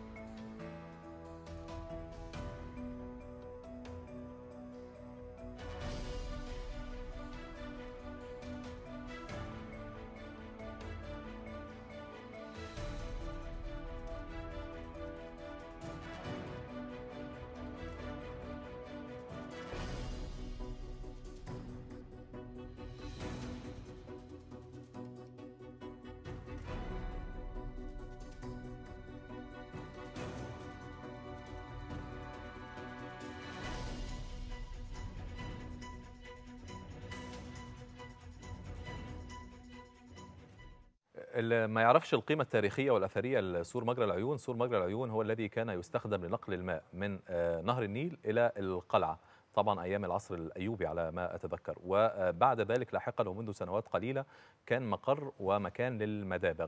في الآونة الأخيرة الدولة قررت أنها تنقل المدابغ لا أظن لمدينة بدر وقررت أنها تطور سور مجرى, مجرى العيون عشان يعود مرة أخرى لقيمته التاريخية وقيمته الأثرية. الحقيقة إنه آه، إحنا بنتكلم دلوقتي عن موضوع في منتهى الأهمية ألا وهو آه، تقدم أو إزاي يقدر أي مجتمع إن هو يتقدم إلى الأمام. في عوامل كتيرة قوي بت- بتحدد قد إيه المجتمع يقدر يطلع لقدام ويقدر يتطور آه، والعوامل دي ليها برضو فروع منها. من ضمن الحاجات المهمة قوي هي فكرة تدخل المجتمعات المدني المجتمع المدني الجمعيات الأهلية الأفراد ال- المؤسسات كلها المؤسسات الخاصة حتى القطاع الخاص. وبما إنه 2022 هو عام المجتمع المدني بتوجيهات من فخامة رئيس الجمهورية اللي قالها في توصيات منتدى شباب العالم اللي كان في شرم الشيخ الشهر الماضي الشهر اللي إحنا فيه شهر يناير. ففي الحقيقة إنه كمان لما بتيجي بعض آه، آه، ال- ال- المناسبات أو ال- الأحداث أو الايفنتس اللي بتستدعي جدا تدخل وتكاتف أجهزة الدولة كلها ال- العام والخاص والأفراد والمؤسسات الخيرية وكله لمواجهة هذه الأحداث بنحس هنا قد إيه مهم قوي انه كل طرف في المجتمع يكون ليه الإنبوت بتاعه أو يكون ليه المدخلات بتاعته. يساعد إزاي؟ كل على حدة وكل اللي يقدر عليه يعني كل واحد أو كل جهة باللي تقدر عليها. دكتورة نيفين قباج آه، وزيرة التضامن الاجتماعي وبصفتها أيضا نائب رئيس آه، الهلال الأحمر المصري وجهت برفع درجة الاستعداد القصوى في جميع المحافظات على مستوى الجمهورية لمواجهة موجة الطقس السيء الحقيقة أو البارد جدا اللي بتشهده طبعا البلاد. مركز العمليات آه، التابع ليها لل- لل- للهلال الأحمر بيتابع على طول حالة الطقس وإيه أنظمة الإنذار المبكر وإزاي ممكن نرسل إشارات التجهيز. كل ده بيحصل بالتنسيق مع فروع الهلال الأحمر المصري على مستوى الجمهورية. عايزين نتكلم عن تفاصيل أكتر ونعرف دور الهلال الأحمر المصري وهو دور هام جدا الحقيقة آه، مع متداخل مع المجتمع المصري ويكون معانا هاتفيا الدكتور رامي الناظر المدير التنفيذي للهلال الأحمر المصري. يا دكتور رامي صباح الخير عليك. أهلا وسهلا صباح دكتور. الخير يا فندم. صباح الخير على السلامة. أهلا وسهلا. الهلال الأحمر هو على رأس الجمعيات الأهلية جمعيات أو منظمات المجتمع المدني اللي بتعمل في مصر في جميع المحافظات. ما هو الدور اللي بيقوم به الهلال الأحمر المصري في آه، مساعدة المحتاجين في مساعدة الفقراء في مساعدة المناطق اللي آه، بتكون معرضة بشكل أكثر وأكثر كثافة لموجات الطقس السيء طيب تمام يا فندم حضرتك ذكرت حاجة مهمة جدا هي جمعية الهلال الأحمر المصري دي جمعية تعتبر ذراع الدولة أو ذراع وزارة التضامن الاجتماعي في. عمليات الإغاثة والطوارئ. دي عملية بتعمل في مجال إدارة الأزمات والكوارث منذ أكثر من 100 عام طبقا لقرار نشأتها من أيام الملكية. الجمعية ديت قوامها المتطوعين يعني هو ده دور المجتمع المدني. ولما ذكرنا إن بيبقى في تكاتف وتلاحم ما بين أجهزة الدولة المختلفة لاحتواء الأزمة بيبقى حاجة جميلة جدا الأجهزة التنفيذية وبعد كده المجتمع المدني. كل ما كان المجتمع مهيأ وممرن وفي متطوعين وفاهمين كل ما بيساعدوا على عملية احتواء طيب جمعية الهلال الأحمر المصري طبقا طبعا لتصنيفها بتعمل في مجال الأزمات والكوارث ومن ضمنها طبعا التغيرات المناخية اللي إحنا بنشوفها زي السيول وزي الفيضانات وزي موجات الصقيع العنيفة اللي إحنا بدأنا نحس بيها واللي طبعا هيبقى ليها آه، شكل مختلف بعد خمس أو ست سنوات من الآن. آه، عشان نقدر نشتغل كان لازم يبقى لينا فكر مختلف. طبعا هو إنشاء غرفة أزمات وكوارث ودي أول غرفة في الشرق الأوسط نقدر نقول بتعمل من خلال المتطوعين اللي تم تدريبهم على مدار العامين اللي فاتت إزاي إن هم يقدر يتتبع إزاي يقدر يتصل بأنظمة الإنذار المبكر اللي مربوطة بالأقمار الصناعية ودي موجودة في حتت كتيرة في العالم. إحنا طبقا طبقا لأن الجمعية عالمية فليها اشتراك في الاتحاد الدولي لجمعيات الهلال والصليب. فإحنا بنقدر نحصل على المعلومات اللازمة نحو موجات البرد البرد اللي هتيجي المنخفضات الأمطار ونقدر نحدد المناطق اللي ممكن تتعرض للتغيرات. وبعد كده بننزل بن- بنرسل إشارات الاستعداد للفروع الهلال لأنها موجودة في 27 محافظة. فرق الطوارئ اللي تم تدريبها برضو من المتطوعين اللي هم من المجتمع. نحاول طبعا نعمل تشكيلة من المدن محافظات القرى عشان يبقى طبعا عندنا كثافة من المعلومات وده- وده بيسهل برضو الدخول الآمن للمجتمعات بيساعدنا طبعا على طيب الفرقة دي تم تدريبها وإعدادها وإعطائها ال- الأدوات اللازمة من أدوات الحماية والبل- والبدل العزل من أثناء السيول. وطبعا تم ال- يعني نقدر نقول إن إحنا قدرنا إن إحنا نجمع مجموعة من آه، الناس اللي عندهم سيارات الدفع الرباعي. طبعا دي سيارات عالية بتقدر تخش في الأماكن الوعرة. ده بالإضافة لأسطول الهلال الأحمر المصري. بدأنا ندربهم على أعمال الإغاثة. وأعمال تقديم الإسعافات الأولية والرصد وبدأت بقى الفرقه دي تنتشر في الأماكن اللي إحنا بنتوقع حدوث فيها أمطار كثيفة وبدأت تعمل نوع من أنواع المسح وبعد كده إبلاغ غرفة العمليات بعد كده بتعمل تدخلات سريعة وبتعاون أجهزة المحافظة. وده كان ليه يعني دور كبير جدا في اليومين اللي فاتوا في اسكندرية بالتعاون مع جهاز تنفيذي المحافظة. إحنا طبعا ما بنشتغلش لوحدنا إحنا بنشتغل مع أجهزة الدولة. نعم. نعم دكتور رامي ال- العالم كله بيتجه الآن للبحث عن وتطبيق الاستدامة في أي مشروع بيعمله. وحتى ال- الجمعيات الأهلية ومنظمات المجتمع المدني في عملها كمان تراعي الاستدامة. ونتحدث الآن ومنذ فترة عن استراتيجية رئيس الجمهورية للتنمية المستدامة 2030 وأنه كل عمل آه، يعني يدرس أو يتم النظر فيه أو البدء في العمل عليه اليوم عليه أن على هذا العمل يعني أن يراعي المستقبل مستقبل الموارد الطبيعية حتى التي نستخدمها والاستدامة في استخدامها. آه، إزاي الهلال الأحمر المصري في مشروعاته النهاردة اللي بيعملها. وخلينا ناخد المثل اللي إحنا بنتكلم فيه دلوقتي فكرة مساعدة آه، ال- ال- ال- المواطنين المصريين آه، الاحتماء من هذا البرد ال- ال- الشديد طبعا أو الطقس شديد البرودة و مواجهة الطقس السيء. إزاي الهلال الأحمر المصري بيعمل على اعتبار الاستدامة في المشروعات التي يقوم بعملها أو تنفيذها اليوم؟ تمام يا فندم حضرتك ذكرت الاستدامة ودي حاجة مهمة جدا. لما نبص لقرارات تأسيس جمعية الهلال هي مبنية على المتطوعين. العامل البشري هو أهم حاجة في أي منظومة. لو العامل البشري مؤمن بالقضية عنده انتماء للدولة ال- اللي بيشتغل فيها الدولة المصرية عنده حب للعمل التطوعي يبقى أنت هتلاقي وده ما أكثره في مصر. يبقى أنت عندك متطوعين من الشعب المصري. المتطوع دوت يعني بيدينا جزء من وقته وجزء من مجهوده في متطوعين بيدونا جزء من إمكانياته. طيب شطاره جمعية الهلال الأحمر المصري إنها تستقطب أكبر عدد من المتطوعين الفعالين. فكده يبقى عندك استدامة في العملية البشرية ودي مهمة جدا. يتبقى بقى الاستدامة المالية. الاستدامة المالية طبعا ديت بتعتمد على جمع التبرعات ويعني يبقى في برامج ومشاريع أكثر ويبقى في دول مانحة اللي هي طبعا مهتمة بعملية التغير المناخي لأن طبعا زي ما حضرتك. عارفة إن يعني أي دولة بتأثر على الدولة الثانية لو لم تلتزم بمعاهدات نعم. تغير المناخ نعم نعم أستاذنك دكتور رامي بس في ثواني سؤالي الأخير لحضرتك إزاي لو أي حد بيتابعنا دلوقتي أو في أي وقت وحابب فكرة التطوع في الهلال الأحمر المصري التطوع التطوع زي ما حضرتك شرحت سواء آه، يعني إن أنا أروح أشتغل بإيدي أنزل حملات مع حضراتكم أو آه، آه، تبرعات مادية يعمل إيه؟ يتواصل معاكم إزاي يا فندم؟ يا فندم الرقم الساخن للهلال الأحمر 15 3 22 صفحة الهلال الأحمر المصري الصفحة ال website فيها إن شرح كل حاجة بما فيها أنظمة التبرع. صفحة الفيسبوك كل دوت سهل الوصول إليه بالطريقة الإلكترونية الرسائل القصيرة ومتواجدين طبعا في كل ال- يعني نقول الأنظمة الإلكترونية صحيح. اللي نعم. هي. بتحث على التبرعات شكرا ليك جزيل رامي الشكر ناظر المدير دكتور التنفيذي للهلال الاحمر شكرا جزيلا لحضرتك على كل هذه. التفاصيل وعلى وجودك معنا في هذا الصباح والحقيقة السؤال الأخير سؤال هام يا مم. كيفية التطوع إحنا في المجتمع المصري تقريبا 50% من المجتمع من الشباب والشباب هي هو القوة الضاربة في منظمات المجتمع المدني 70% أ- خلينا نقول على الأقل أو من 50% 50 ل 70% ودي نسبة كبيرة طبعا. والركن الأساسي لعمل الجامعات الأهلية بيعتمد على الشباب بشكل رئيسي التطوع عموما بيعتمد على الشباب. صحيح عندنا ناس كتير بتتطوع لكن عايزين نر- نر- نرسخ ثقافة التطوع التطوع في المجتمع. سواء في جمعيه الهلال الأحمر أو في الجمعيات ال- المختلفة الجمعيات العديدة عندنا عدد كبير من الجمعيات الأهلية. طول ما هي تحت مظلة آه، قانون المجتمع المدني وقانون الجمعيات الأهلية فهي قابلة ان الناس تروح تتطوع فيها وتشتغل وتساعد بلدها وتساعد المجتمع. طيب خلينا نروح لموضوع تاني هو موضوع الساعة وموضوع مهم موضوع ثقافي وهو موضوع معرض الكتاب الدولي. وإحنا امبارح وعدنا الساده المشاهدين. يوم إن شاء الله. يوميا لغاية لحد يوم يوم 7 سبعة. فبراير إن شاء الله يوميا هنتكلم عنه. هنتكلم عن إيه النهارده في المعرض؟ النهارده لسه طبعا معرض القاهرة الدولي للكتاب بيستقبل عدد كبير من الزوار. آه، ال- السنة دي يمكن أغلب الملاحظات اللي جات لنا من الناس اللي راحوا لغاية دلوقتي إنه في مشاركات مختلفة من من ناس كتيرة من دول كتيرة. والحقيقة إنه آه، آه، يعني مهم جدا إن إحنا نعرف أكتر عن فعاليات المعرض إحنا شايفين دلوقتي مجموعة من الصور وبنشوف دلوقتي إزاي آه، يعني المواطنين الجمعيات كلها بتشارك بده. من ضمن هذه الجمعيات جمعية سحر الحياة لدعم أبطال السرطان.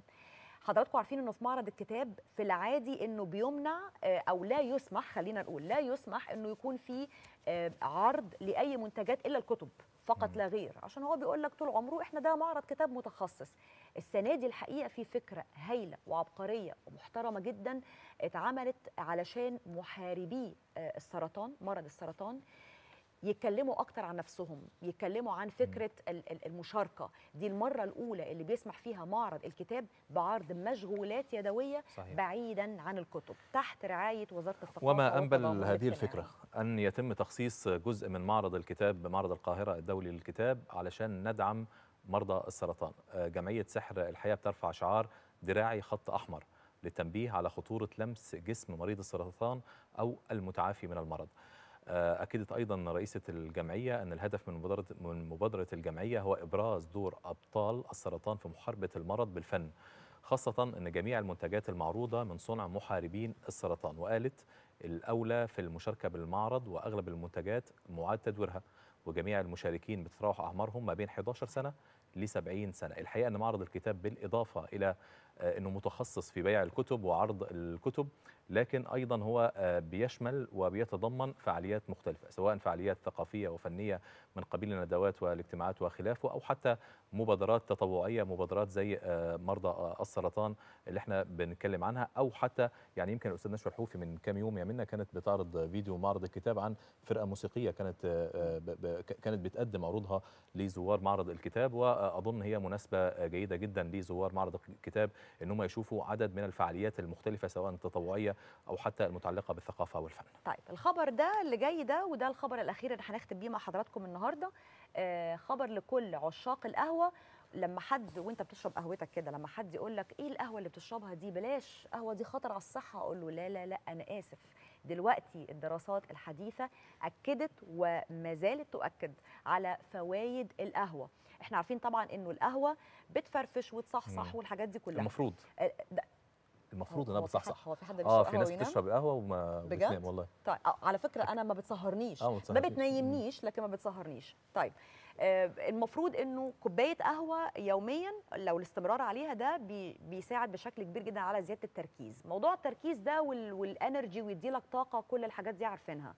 لكن الجديد في الدراسات اللي عايزين نتأكد منه من المتخصصين إنه وده اللي قاله موقع Healthline الطبي إنه فوائد القهوة بقت كتيرة قوي منها تنشيط القلب والكبد وزيادة التركيز مع فقدان الوزن أو المساعدة مم. على فقدان الوزن. عشان هي بتزيد من معدلات الحرق في الجسم.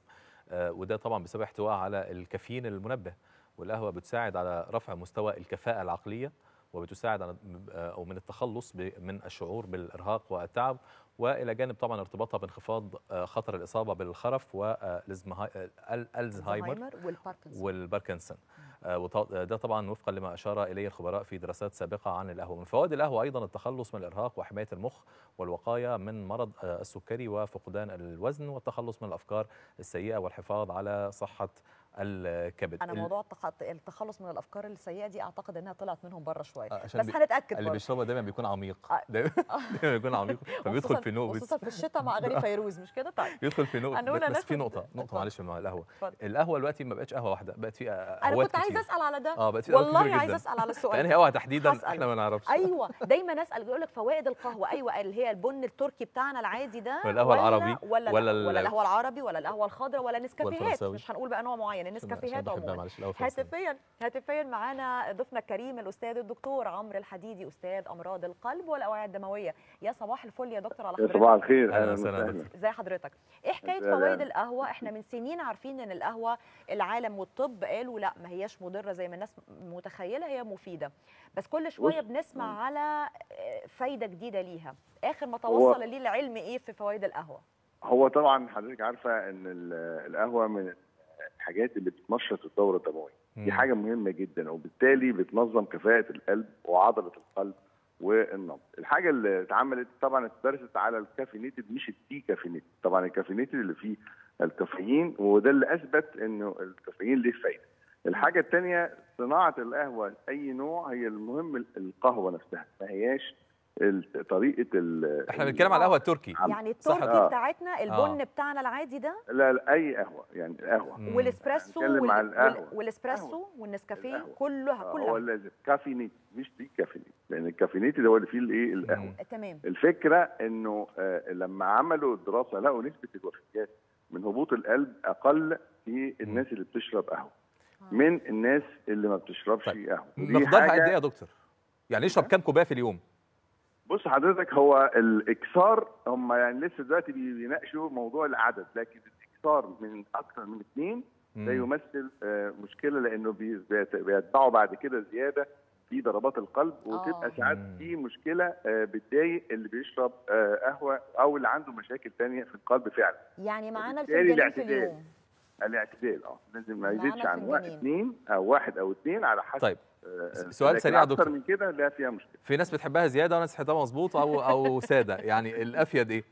لا هو ملهاش علاقة بالزيادة أو كده ما هو هي السكر برضو. الزياده والحاجات دي ده أنت بتقول دلوقتي أنت قلت في كلامك إن بيعمل تخسيس ودايت وده مفيد آه. جدا للدايت لأنه بيزود زي حضرتك ما قلت الحرق وده مفيد للقلب ومفيد لل- للصحة العامة عامة أنا أنا القهوة بتسد لي نفسي في ناس القهوة بتسد لها نفسها هي هي بتعمل فعلا بتزود الحرق وبتخلي تقلل ال- الاحساس بالجوع. طب سؤال أخير يا دكتور. ال ال معلش أنا عارفة تخصص حضرتك القلب والاوعيه الدمويه بس حضرتك أستاذنا طبعا ودايما بنستفيد من من من الحوار مع حضرتك.